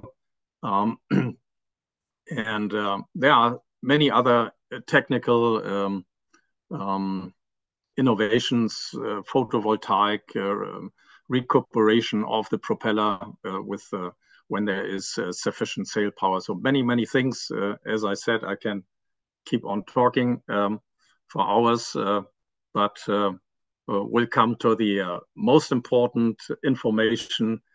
So there will be an open ship event in February, March in 2024 in Geoje, South Korea. And I think this ship is really worth visiting and having a look when it's ready for service. I hope that uh, there will be interested uh, ship owners uh, and that we will see more of this type or with some adaptations, that's no problem, in the future. So please note down February, March 2024, the project team will be happy to present the ship then. Yeah, so we're coming to the end. Wind-assisted hybrid ships, short term, we see them. more and more. Uh, perhaps the question, is there more wind propulsion possible? Uh, something what we call, call wind ships with uh, perhaps even over 50% uh, of wind propulsion. Um, yeah, so we are excited about this idea and have to work hard on the developments that we come to this point of wind ships. And uh, of course, we see the chances and risk for ship owners and managers, shipbuilders, suppliers in regard to the transformation. Um, I would see the main risk in not taking the chance uh, to go this way, to go this path. Um, yeah, thank you very much for listening, and um, hopefully we can talk a bit about this. Thanks, John. Back to you. Thank you so much, uh, Professor Michael Vahs. Thank you for your sharing. And, you know, uh, I think earlier, I think like months ago, it was really good to see to see you and the team and the and the ship that was being built. So, you know, having to see that firsthand, you know, and listening to, you know, the work that you're doing um, there in South Korea is really helpful for the Marshall Islands and for the region as well. And it you know it gives opportunities for the Pacific to you know to adapt these measures. So thank you very much for sharing. Uh, now I I would like to uh, hand it over to Mr. Gavin Allwright, and then we will uh, go finally to um, Dr. Alex Mawyer. So thank you very much. Okay, thank you very much, John. Um, I'm just going to share my screen if I can. Um, just got to get that up. So just one moment. Let me see.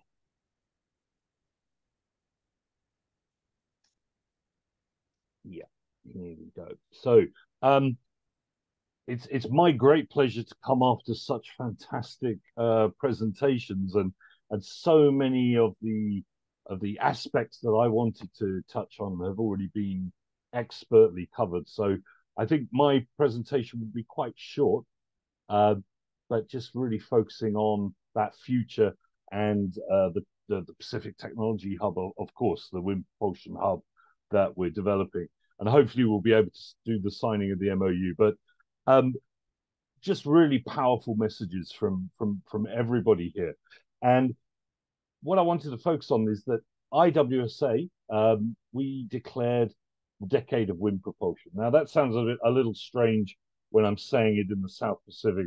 What about the last couple of millennia? But what we're really talking about here is that uh, the the modern wave of wind propulsion coming back into the market. Um, we've been talking a good a, a, a, a good amount of technology. We've been talking about design for many many years, and we really saw that 2020, 2021 was the point where we had to, and the, the key word here is deliver, deliver on all of that potential and all of that um, uh, momentum that was growing. And really, over the last eight, uh, two years now, um, we've seen that momentum really growing. Um, and as as a, a, a, sort of network of uh, covering uh, many different aspects of wind propulsion. You know, we we really see that transition being, um, or uh, or the, the the movement towards wind propulsion being in sort of three different phases, and we've heard um, each of the speakers today touching on uh, various aspects. So the the first area is a sort of a tweaking of the existing fleet that we have. So retrofitting, uh, putting putting uh, you know, sails on tankers, bulkers that are already in operation. Then we we see another thread or another theme coming through, which is the transition, where we have uh, new builds being made wind ready or having installations already put in, uh, work on the optimization of those designs. Um, you know, the retrofitting, uh, you know, mandating all ships to be wind ready, for example, in the future. And then finally, a, a transformation thread and uh, I think very much uh, the the ship that uh, Michael was just talking about, uh, where we have a primary wind vessels. Uh, they are uh, maybe quite small at, at present, but growing. Um, but that becomes the de facto. That becomes the the, the new design norm. And we have those energy harvesting systems on board to take advantage of the wind when it's blowing too much, and then using that energy to propel the ships of the future that uh, when the wind isn't blowing uh, at all. Now, oh, I'm just going to go on to my next uh, slide. Now, the International Windship Association itself is over 150 active members, and I think we're already over 200 members in total. And, and these numbers are a little bit old. These are these are a few uh, months ago. Um, and our job is to really facilitate the uptake of wind propulsion worldwide. So in the existing fleet, and I'll talk about where we are with that in a moment, but um, also for you know laying the groundwork and, and creating the facilitation space for uh, the uh, companies to uh, collaborate, put together joint ventures, work together to actually um, uh, uh, bring bring wind propulsion into reality. And one of the factors that we we uh, saw in that dissemination and that scaling of wind propulsion is around national chapters and clusters or hubs, as as as we call them. And the, the Pacific Hub is one of about five that we're working on. There's quite an active one in France, on the west coast of France, North America, um, in in the north of Europe as well, and um, over in um, uh, Northeast Asia as well. But um, we've been very active with uh, uh, M- MCST, and I can't believe actually John John and Maria mentioned the Talanoa, the Sustainable Sea Transport Talanoa, back in 2012, and that makes me that makes me feel a little old. That's 12 years ago, um, and we were talking about these issues then, but we were talking about them and we weren't able to deliver them yet. Um, that is very much changing, and I've, I've been delighted to see all of the work that uh, the Six Pack have been doing, um, also the the the, uh, the incredible amount of research analysis, and, and development of national uh, programs and pathways. And of course, as, as Maria mentioned very clearly, your wind has to be uh, really an integral part of the transition, especially in this region where we have you know, huge distances, very expensive fuels, and relatively low uh, cargo and passenger uh, uh, volumes as well. But that doesn't have to be um, just servicing what we have. And this is something that's really important. And I, I think uh, uh, Maria and Eileen both touched on this, um, and Christian as well, is around the uh, the virtuous circle. So the co-design that Michael's was uh, mentioning, you know, co-designing these systems, uh, the, the, the ships of the future, indigenous knowledge. You know, Captain said was, you know, really brought that home to all of us. I think. Um, that's incredibly important. But the training, having seafarers from the region operating these vessels, where the benefits accrue in in the islands themselves, but we also see a rejuvenation of perhaps shipbuilding, as uh, uh, we we heard around the the Fijian yards, which were vibrant in the 70s and 80s.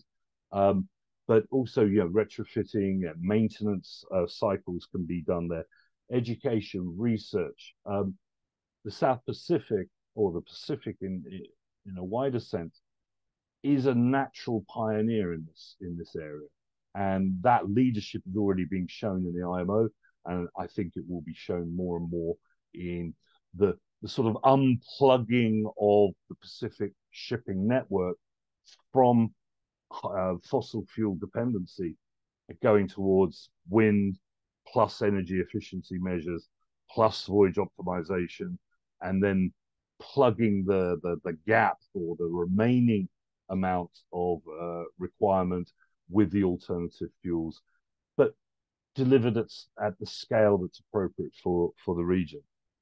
Um,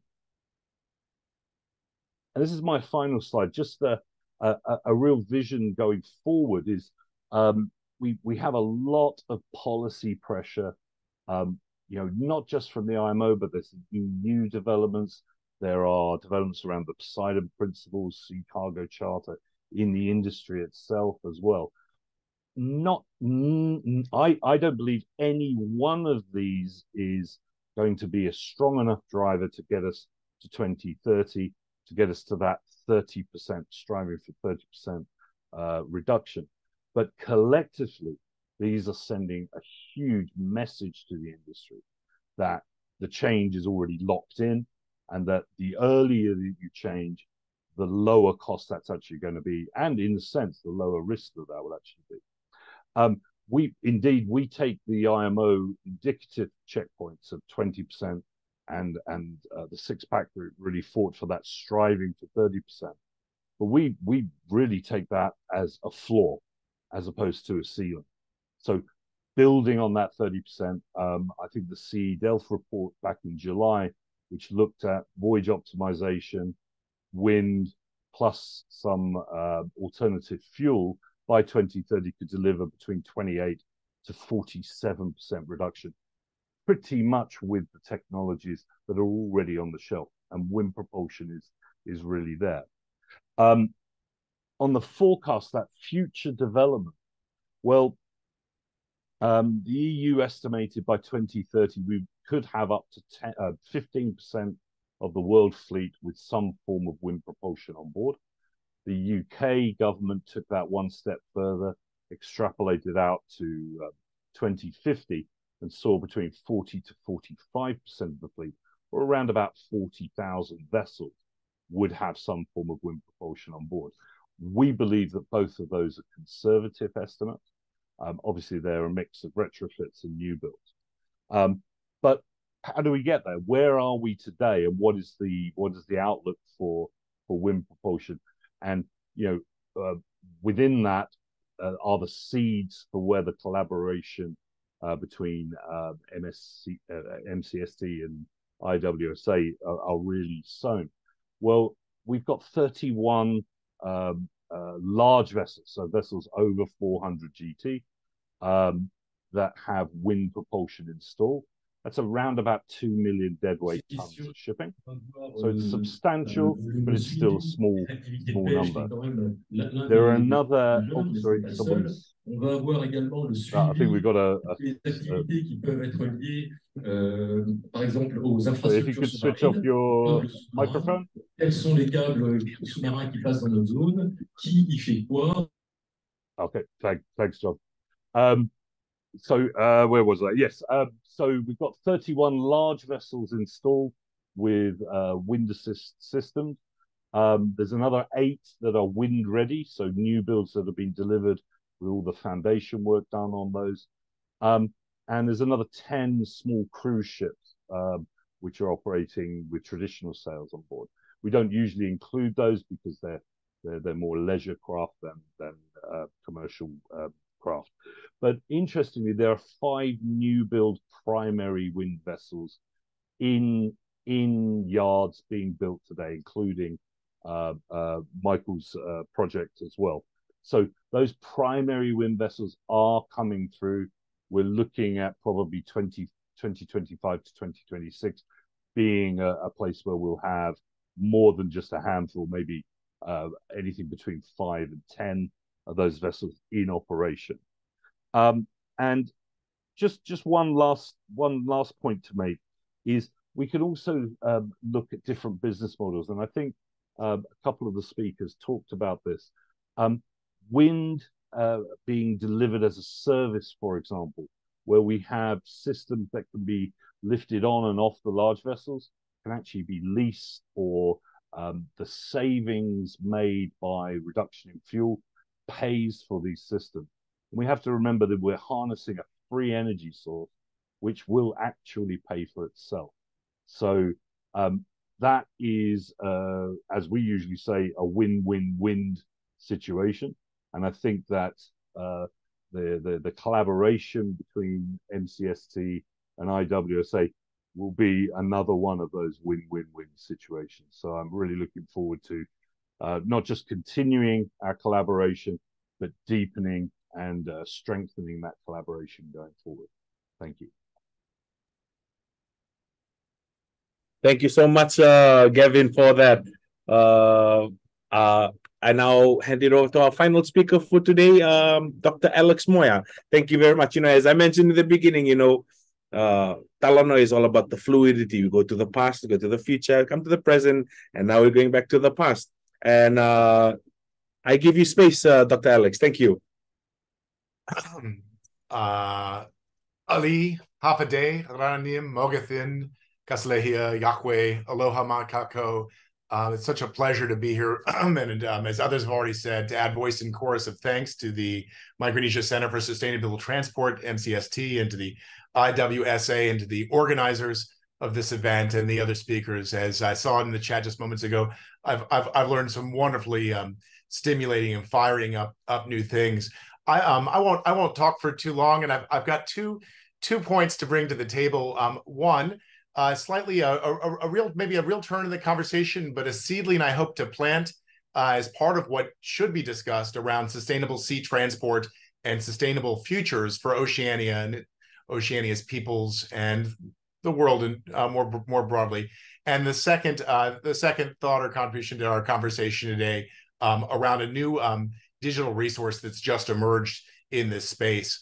So um, I'm, I'm coming to you from here at the University of Hawaii Manoa at the Center for Pacific Island Studies, which was founded in 1950 as the world's first Pacific Studies um, MA program and uh, much more recently bachelor's program, and uh, now joined by programs across Oceania, including at University of Auckland, Vic, uh, in Wellington, um, colleagues in uh, Tahiti, University of South Pacific, and the uh, community colleges of Micronesia and across Oceania, as well as in the continental United States, are increasingly making spaces for programs which, like the Center for Pacific Island Studies here at the University of Hawaii Manoa, draw attention to an interdisciplinary um, um, space, social sciences, natural sciences, for advancing conversations that uh, um, that will help meet the needs of uh, Oceania's peoples and communities towards resilient and sustainable indigenous and Pacifica and Oceanian futures. One of the things that's been very interesting in the conversation this afternoon and this morning um, uh, uh, to track, uh, I guess depending on where we are, it could be your evening, I suppose, for any, any of you who are on the other side of the uh, other side of this blue-green marble world of ours. One of the things that's very interesting in this conversation to track is the way in which uh, uh, sustainable sea transport intersects with and engages with other currents of concern for Oceania's peoples and region. And if we're going to meet the challenge of, of, of increasing adaptive capacity, community resilience, and community well-being for Oceania's peoples, we'll, we'll want to train next generation scholars, including some of those who are here in the, in the room with us today, uh, who are either current or former MAs in Pacific Studies, next generation scholars who are able to articulate between the concerns uh, uh, confronting Pacific peoples, both within sustainable sea transport domains, but between SST and um, neighboring conversations, and not just uh, global climate change and the the confrontation of of um, the Anthropocene and peak oil and energy energy density costs and so on, but conversations around indigenous and um, regional agency, uh, local sovereignty over resources, around community uh, um, community capacity in a ever shifting geopolitical climate and so on. There's so many intersectional concerns. So uh, not so much a pitch uh, thought for, for our own university here at the University of Hawaii at Manoa, the, the Research One University here in the state of Hawaii, um, and our, our Pacific Studies program here as a general pitch towards looking for students who are not only located in the um, engineering fields and in the uh, uh, primary domains contributing to the material and practical sciences around sustainable sea transport, urban uh, planning and development programs, and as well as engineering and so on. But the broad diversity of training fields uh, uh, that will help everyone navigate what is at the end of the day a very significant ideological and practical shift back towards wind powered transport which requires shifts in uh, among other things notions of temporality notions of uh, uh, connectivity um, between places speed and so on um, this is uh, uh, uh, one of the things that, that that's, that's pretty exciting. This is a lead-in, I guess, or a bridge to our um, the, the the main reason that I'm here, alongside that um, perhaps that little seedling uh, that we can plant in the loamy soil of the mind. That you can ask yourself: Are your research teams and your practice teams are are are, your teams inside your space of practice inclusive of scholars who have trained in Indigenous or Pacific studies, scholars who've trained broadly in the social sciences, including those who trained outside of um, um, uh, planning, policy, development, or engineering sciences bearing on the implementation or realization of sustainable sea transport um, futures.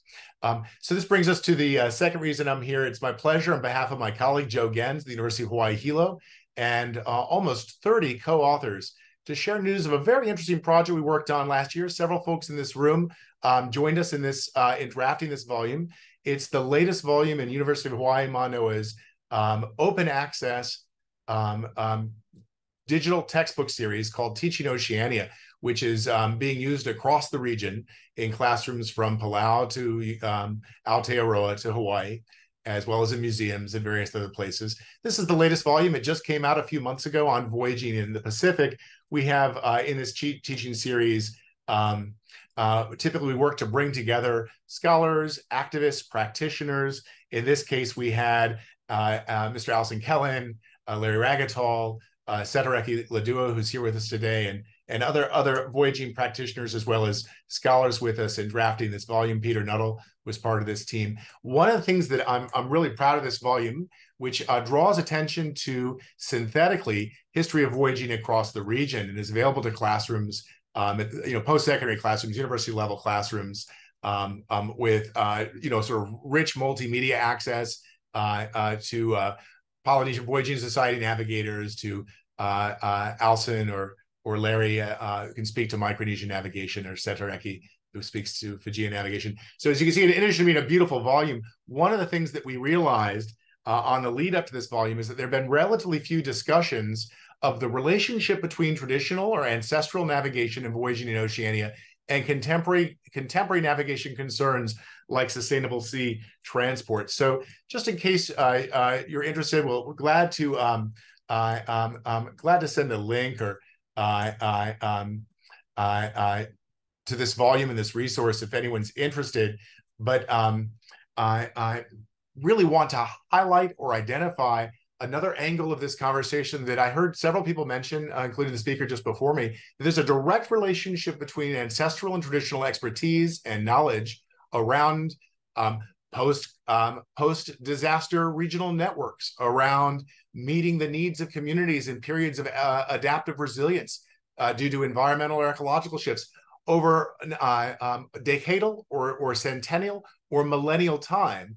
Voyaging networks are sites of extraordinary repositories of regional expertise that that that should be engaged as having something to say not just for cultural renewal or cultural pride or cultural identity but it has something directly to say to sustainable sea transport and indigenous and sustainable uh, transportation futurities in o- Oceania.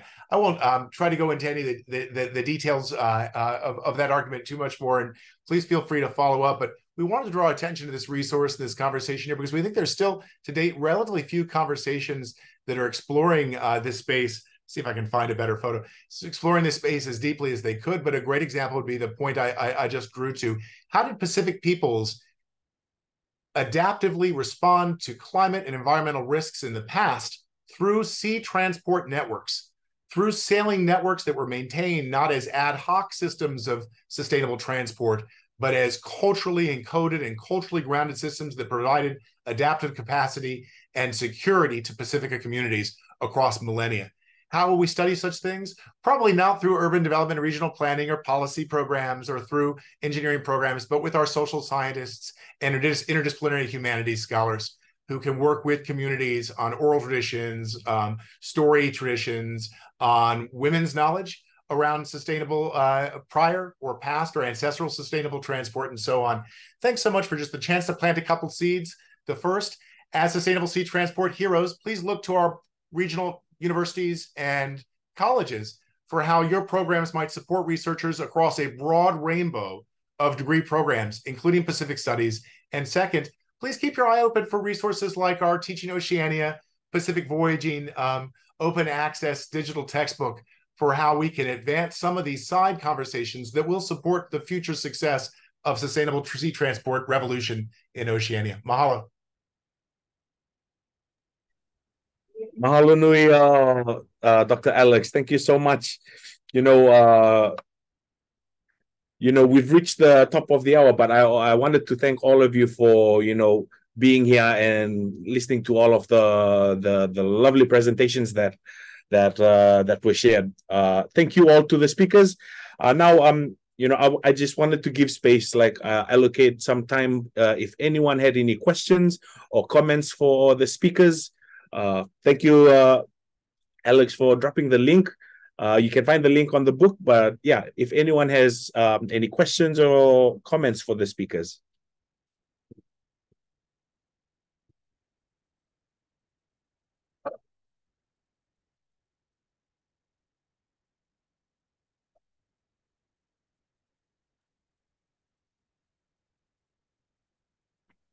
I have I have a question, John. Yes.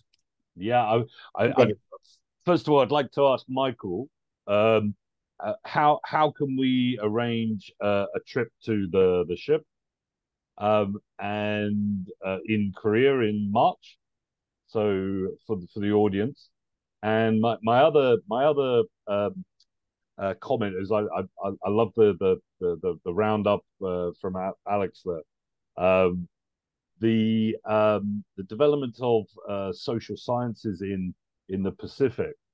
Um, you know, uh, how do you uh, uh, how well are those studies being resourced? Um, I know when I uh, was over with the University of South Pacific, funding was always an issue for the universities, um, and I think maybe Maria and uh, and Eileen can also talk to talk to this but what are the resources that are actually available to to the universities and the the higher education uh, facilities in the Pacific, and what can we do to boost those?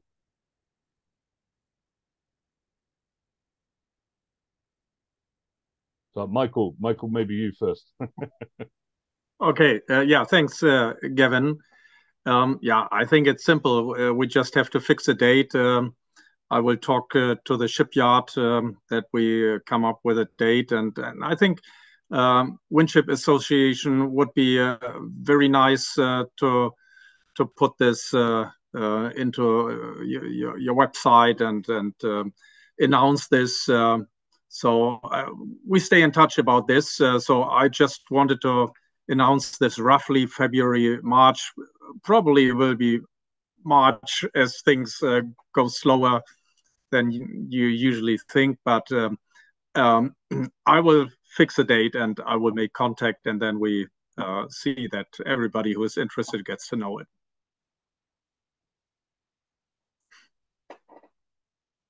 Gavin, thank, thanks for your second question on, on regional universities. I, I, I don't know if anybody else wants to jump in, but I've definitely two quick two quick comments there. Um, the the the first uh, Joe Genz and part and I in partnership with uh, Mr. Alson Kelen and um, Leah and, and their their their voyaging communities applied for a NOAA grant, which we were awarded just this year um, through their um, adaptation climate sciences.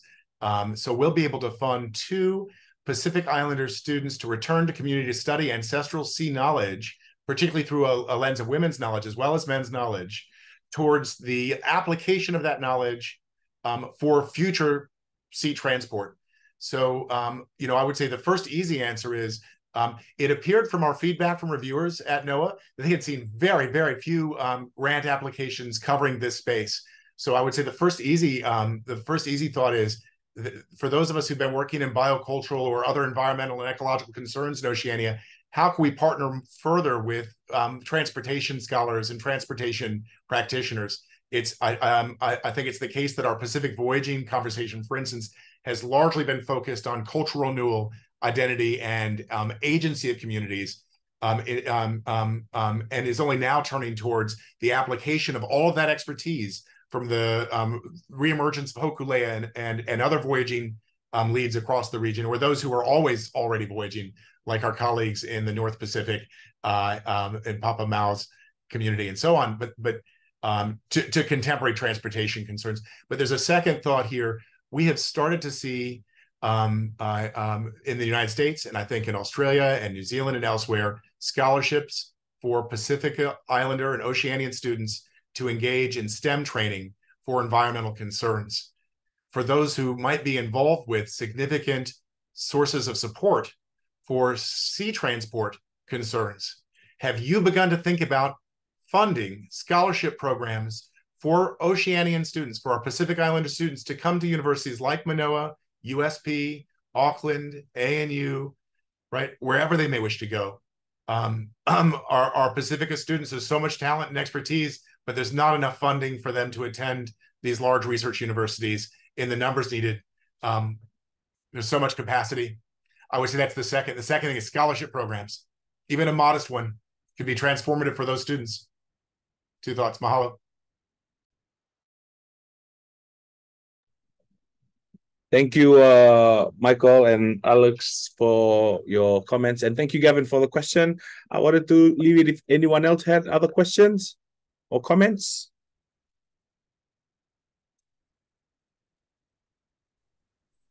I know we've gone over time, but um, you know, it's uh, if you have any questions or any um, or you know any comments about today's uh, webinar, uh, you can always uh, contact uh, the website that I just posted on the group chat.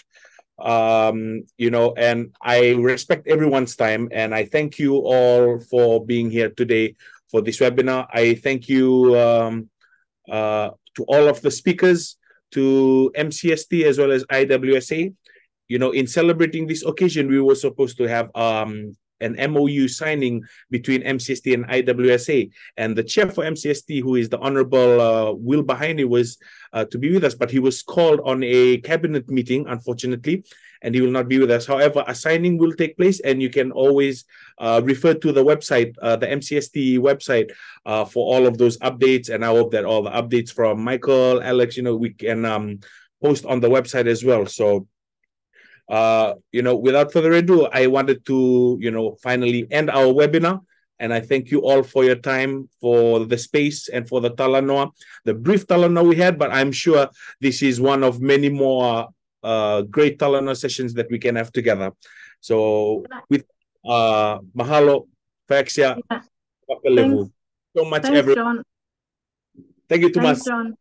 Yeah. Um. Can I just uh, before everyone leaves, I note that uh, Mr. Jerry Kramer, who is a board member for MCST, is online. And uh, um, Jerry, would you like to uh, say a few words uh, before we end this uh, Talanoa?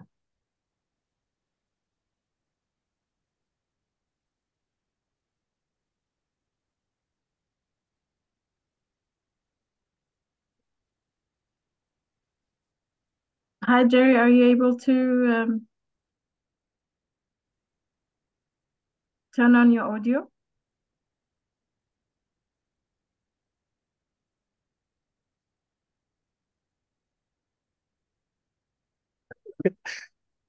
We've had a lot of technical issues. Yeah? oh, the joys of technology. Joys of living in third world country. But anyway, thank you all. Thank you. Uh, the the slides and everything will be posted on the website as well as a recording of today's webinar. So thank you very much again for your time and space. Hello. Thank you. Thank you. Fantastic. Kommol tata. Como Naka.